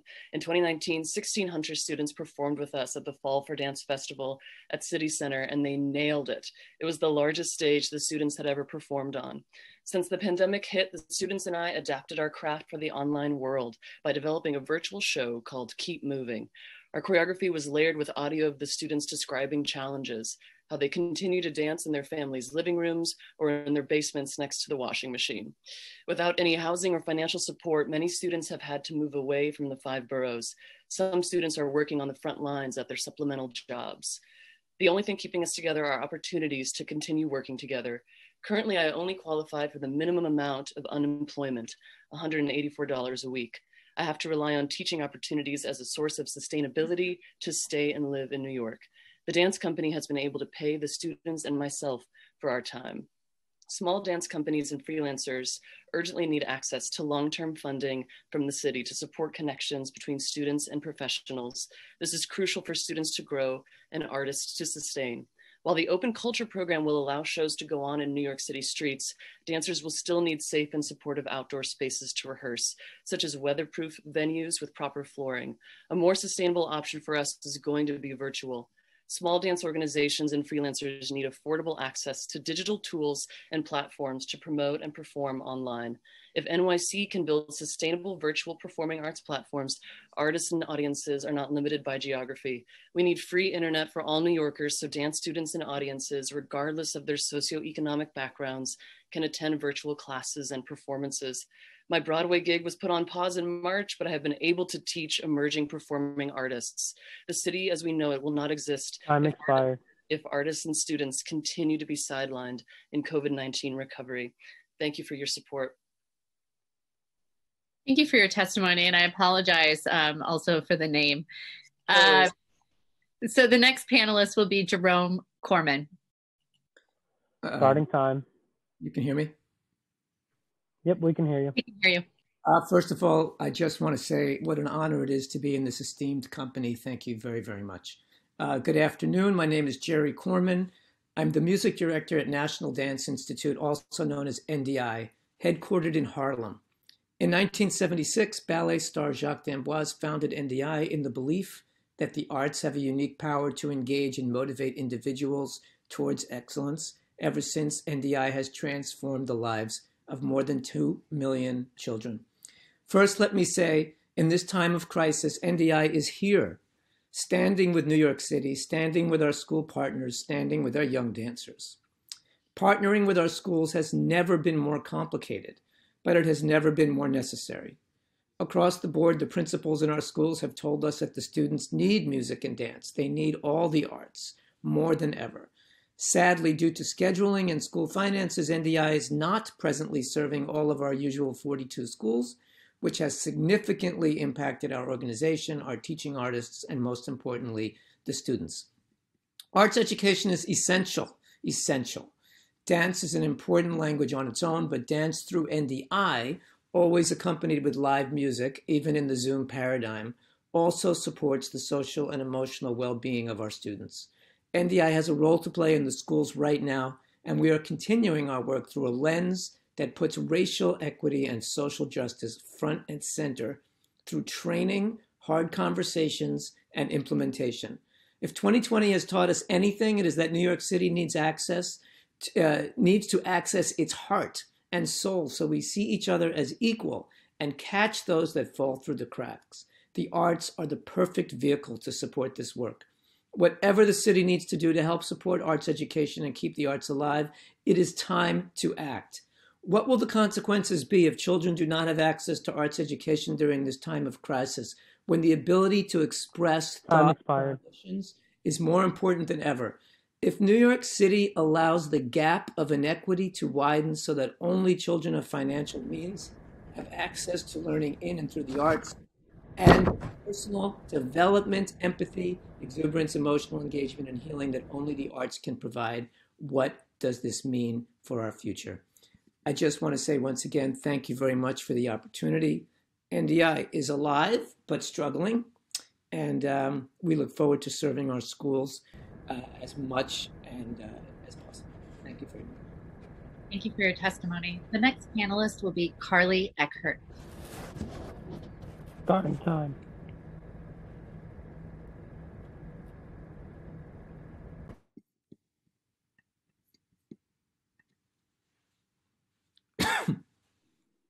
Hello, can you hear me? We can hear you, yes, thank you. Thank you. Uh, thank you, Chair Van Bramer and members of the Cultural Committee for hearing my testimony today as a representative of Dance Parade. My name is Carly Eckert, and I'm the Community Engagement Director for Dance Parade. My responsibilities are to coordinate year round dance education outreach in schools and community centers across the boroughs, which culminate in the annual Dance Parade on Broadway and Festival in Tompkins Square Park. Although the 14th annual parade and festival were preempted last May due to COVID, we did manage to launch an interactive festival, which was attended by more than 6,500 people. Attendance was considered good for an online event. However, we believe that live performance in the streets and public parks is vital to awakening the communal human spirit and helps build a more equitable and vibrant society. After halting programming that began in February, a portion of our weekly dance residencies transitioned online, and we were offered uh, and were offered free for students April through September, including residencies taught in Mandarin, launched under an award from Create NYC Language Access Fund. We had to bear considerable expense to get Zoom working, acclimate our teaching artists to remote teaching platforms, and overcome access and ch technical challenges for our students. We applied for several emergency grants from private foundations, received some financial assistance for three of our 15 teaching artists, but failed to receive support for the organization. We also applied for PPP, but as our organization is facilitated by mostly independent contractors, we were not eligible. We did, however, get a 30 year, 75,000 SBA loan and have spent down half of it.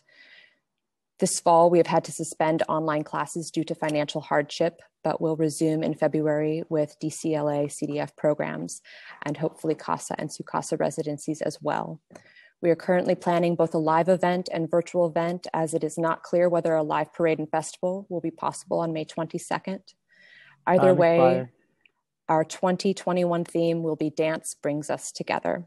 Through our continued efforts and experiences of this time, we greatly acknowledge the health risks to all New Yorkers, pledge to continue strict virus free safety protocols, and are grateful to the DCLA and for the council members' effort to support the cultural sector. Thank you very much.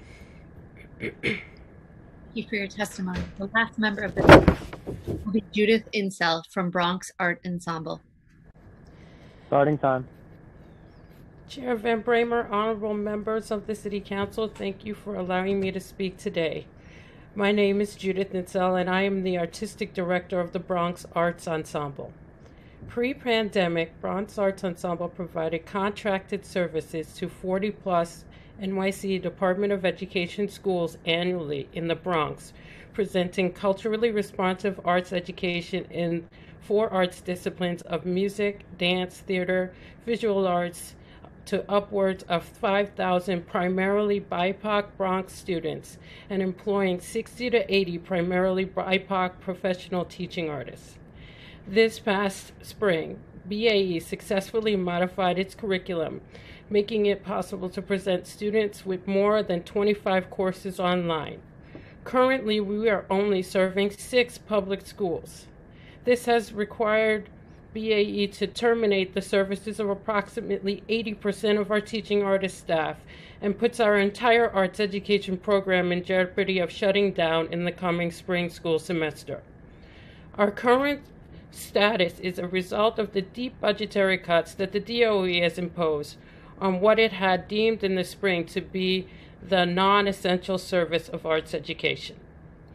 Bronx Arts Ensemble urgently asked the City Council to aid the DOE, normally a willing partner, in restoring the budgetary funds needed to re engage thousands of public school students with the previously employed thousands of professional teaching artists system wide.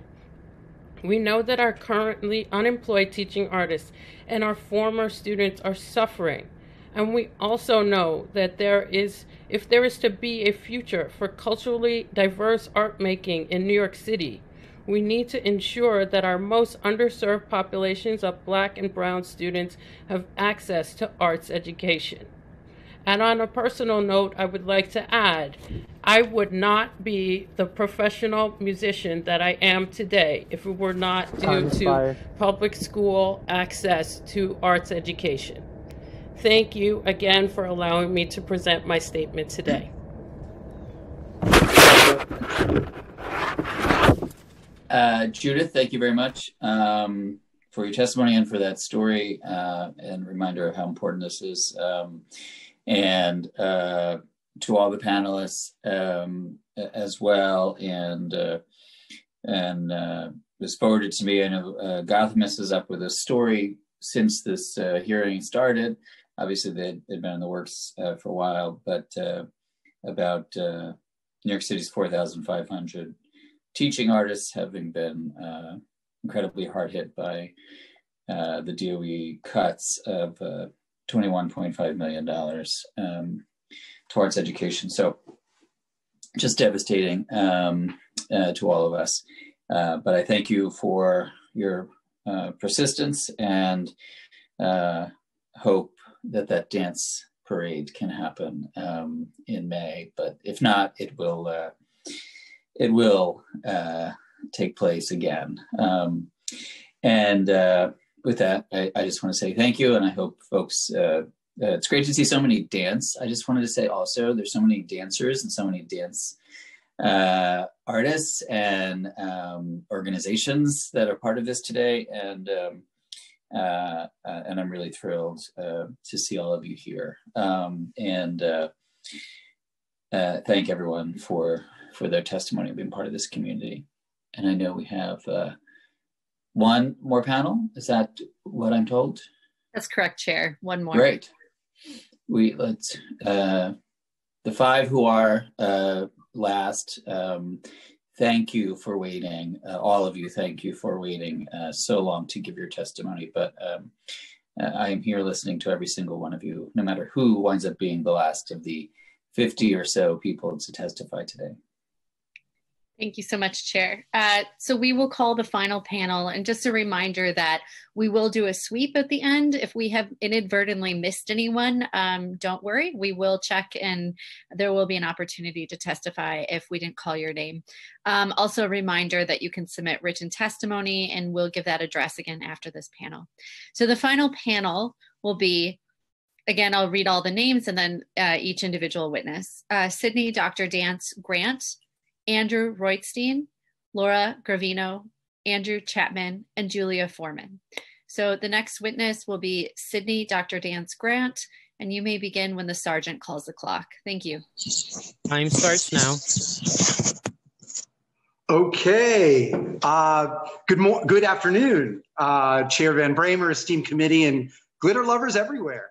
I'm Sydney Dr. Dance Grant, Executive and Artistic Director of Ballroom Basics USA, and no stranger to the City Council, having spoken at a variety of council and borough testimonies with our students actually performing our dances and the manners that make the movement matter so much.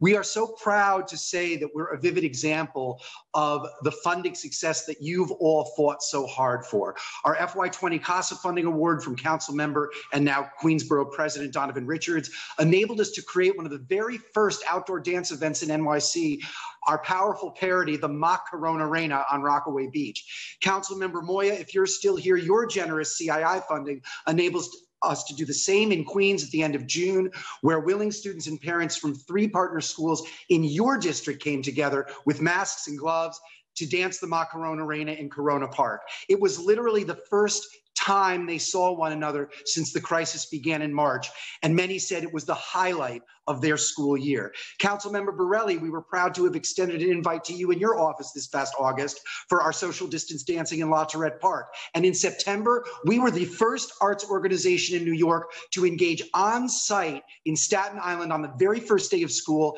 in your colleague Debbie Rose's neighboring district. She attended our special event, showed everyone how Shaolin does it, and actually posted a YouTube Macarona challenge to the speaker, Corey Johnson, who I had the good fortune of dancing with exactly one year ago this week at our organization's performance with students whose work was so generously awarded discretionary funding from Council Member Daneek Miller, whose holiday toy fair we were thrilled to participate in. And Commissioner Casals, even though you're not here, you'd be proud to learn that in addition to swing and merengue, the students performed a dazzling tango argentino I've met with Principal, uh, excuse me, with Councilmember Janai's office for CASA funding. Time expired. And, and Majority Leader Laurie Cumbo, we had a chance meeting in the elevator in the hallway at 250 Broadway. So you all know how much how passionate we are about the education and etiquette ballroom latin and line dance provide new york city school children. In closing i would like to thank mr van bramer once again for continuing to fight so hard for arts funding.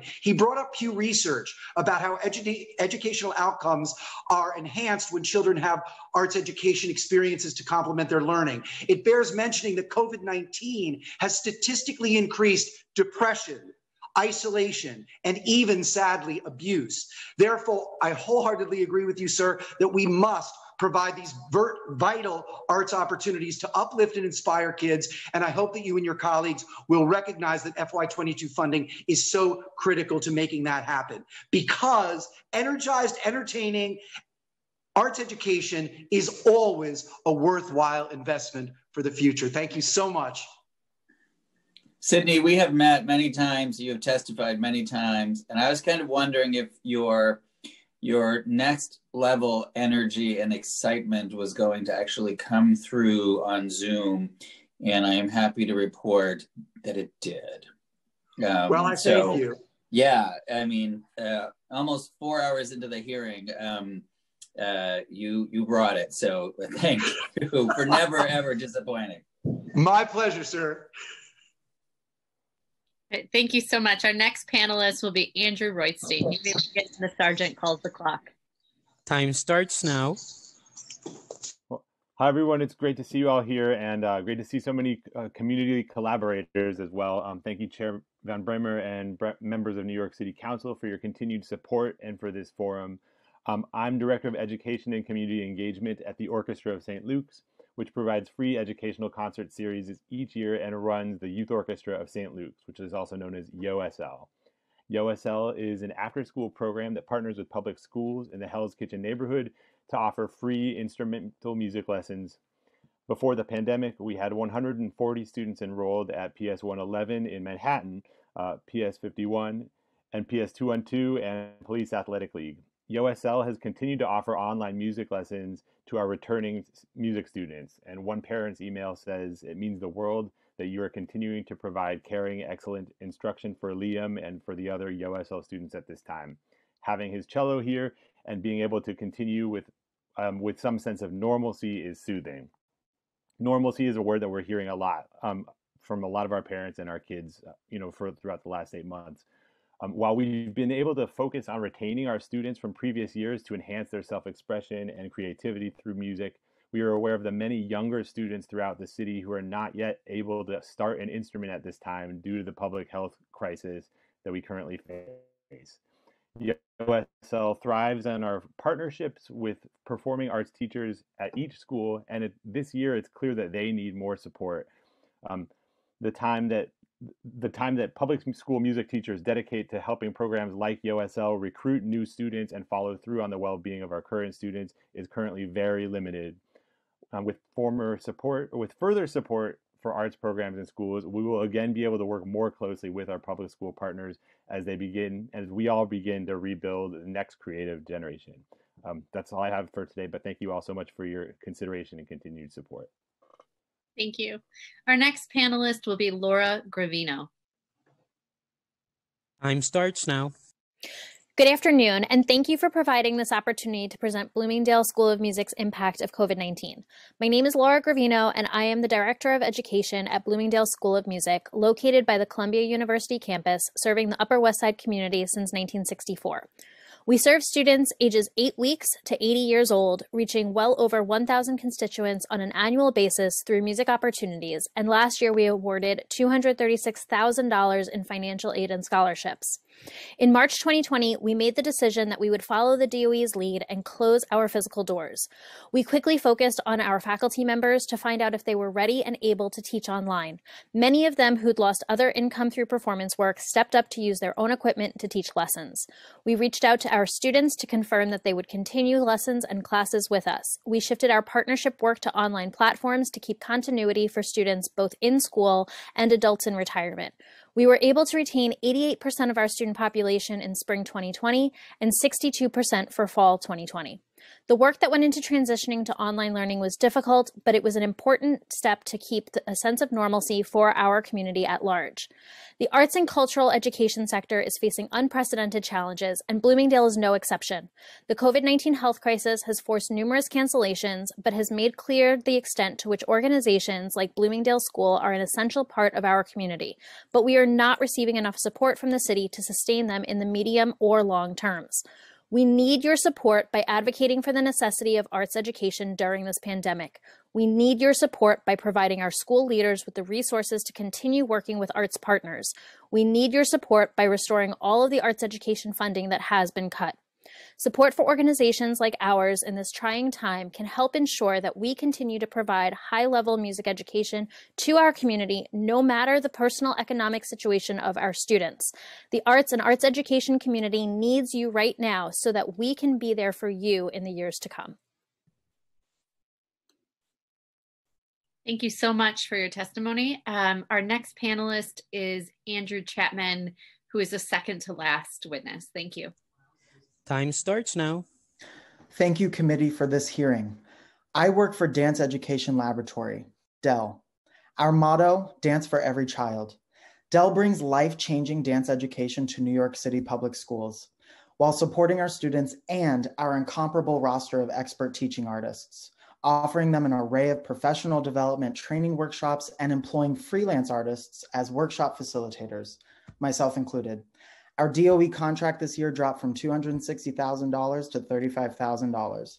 A grant from the New York City Community Trust allowed DEL to continue programming virtually, albeit at less than half of our pre COVID capacity.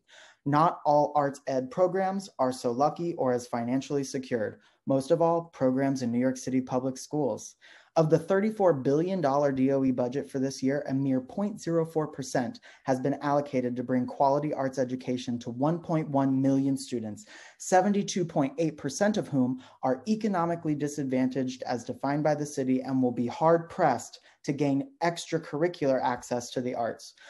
Personal stories have great impact on your committee, and nothing feels more personal than the future of this city, a future assured by children raised with a financially sustainable arts education. Remember, arts education is not only about joy and mental health, it is about thinking outside the box and also knowing how to design the box, build the box, decorate the box, dance around the box, and make that box a musical instrument.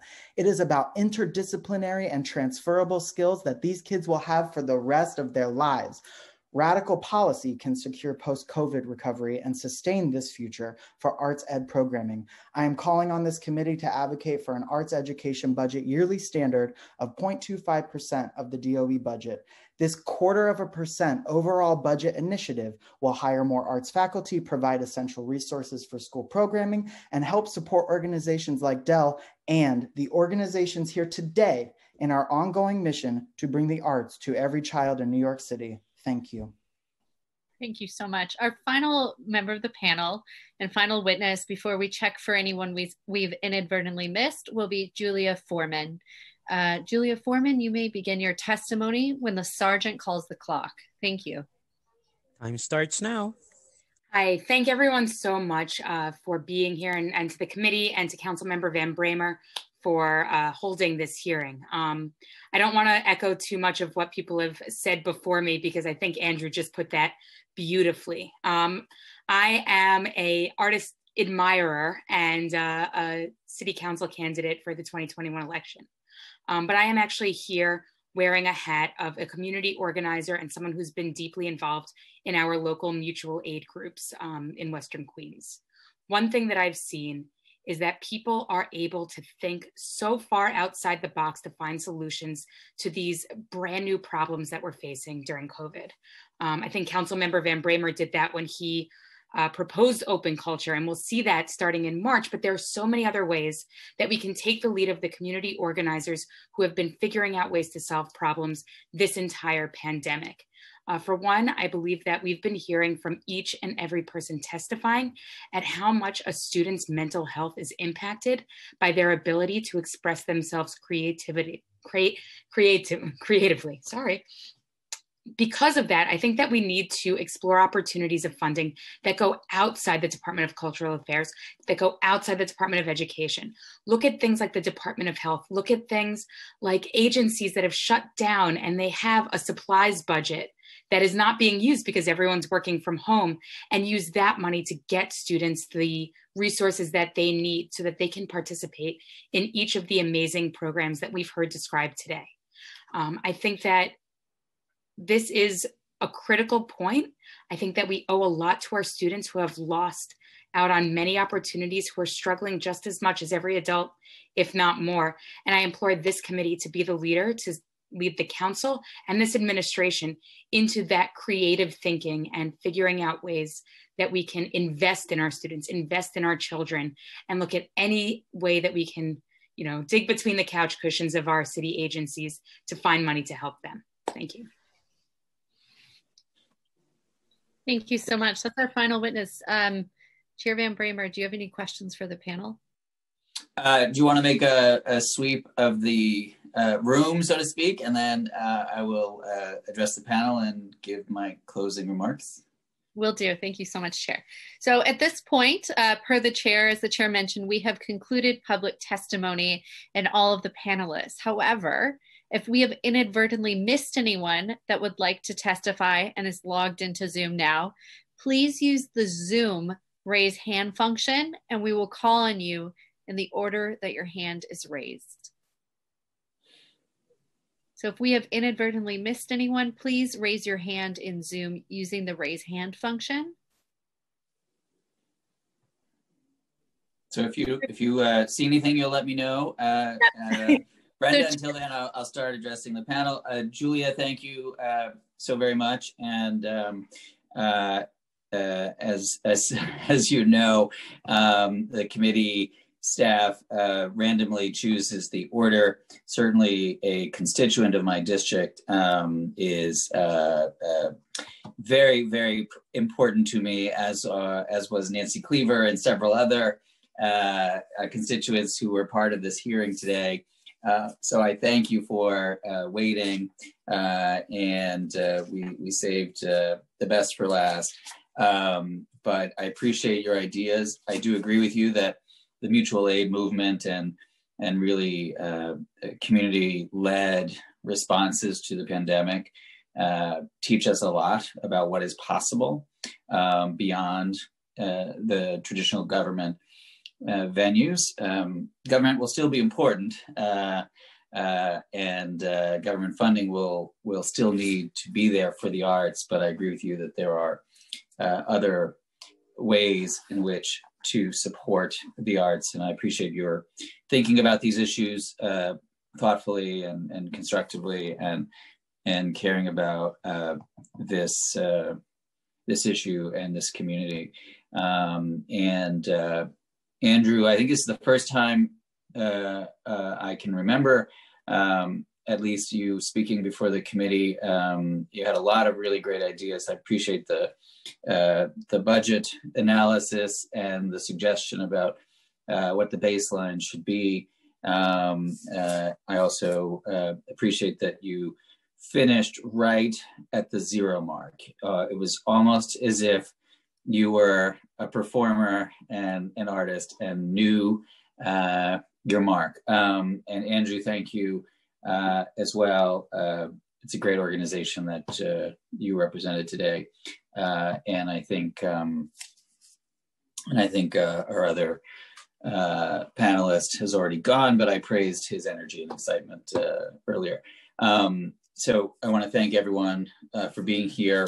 Uh, as I mentioned, um, this is a topic that deserves as much attention as as possible, and uh, this committee has remained uh, very active and very focused during the pandemic, uh, pursuing uh, not only uh, a budget that we could um, that we could appreciate in terms of the arts and minimizing the damage that that others may have uh, uh, thought necessary, but uh, we absolutely need to sustain and increase budgets. But we also need uh, creative legislative solutions uh, like open culture and several other bills that we have in the pipeline. But then we also need to think outside the box. Uh, the boxes, um, Andrew, to quote you, you were doing sort of a whole box thing going on there um, with outside of the boxes of the traditional budget structure and even the traditional legislative structure to address this community's dire needs, right? Uh, few communities have been devastated uh, like the arts, like artists, like culture, um, and uh, in very unique ways, um, and and uh, in a very vulnerable place. Um, the arts and culture are always underappreciated, but particularly during crises, uh, when people think, you know, that's a luxury in good times and bad times we can do without that. Um, and this committee and my uh, work is all about fighting that back and uh, and letting people know that this is as important as ever. Um, and of course, just to end it where we began it, right? The children of New York City's public schools, um, uh, most of whom are Black and Brown, um, many of whom are immigrants or the children of immigrants, um, uh, many of whom uh, come from families that don't have a lot of money, desperately deserve and need arts in their lives and arts as a part of their education. And that is our collective work. So um, this hearing was helpful, uh, instructive, and enlightening. And now we continue the work of making sure that the entire city of New York appreciates what we all talked about here today and move on some of the suggestions. So with that, thank you. And uh, unless the committee counsel, Brenda McKinney, thank you for being here with us for almost four hours. Um, I will uh, call this uh, committee hearing adjourned. Thank you, everyone.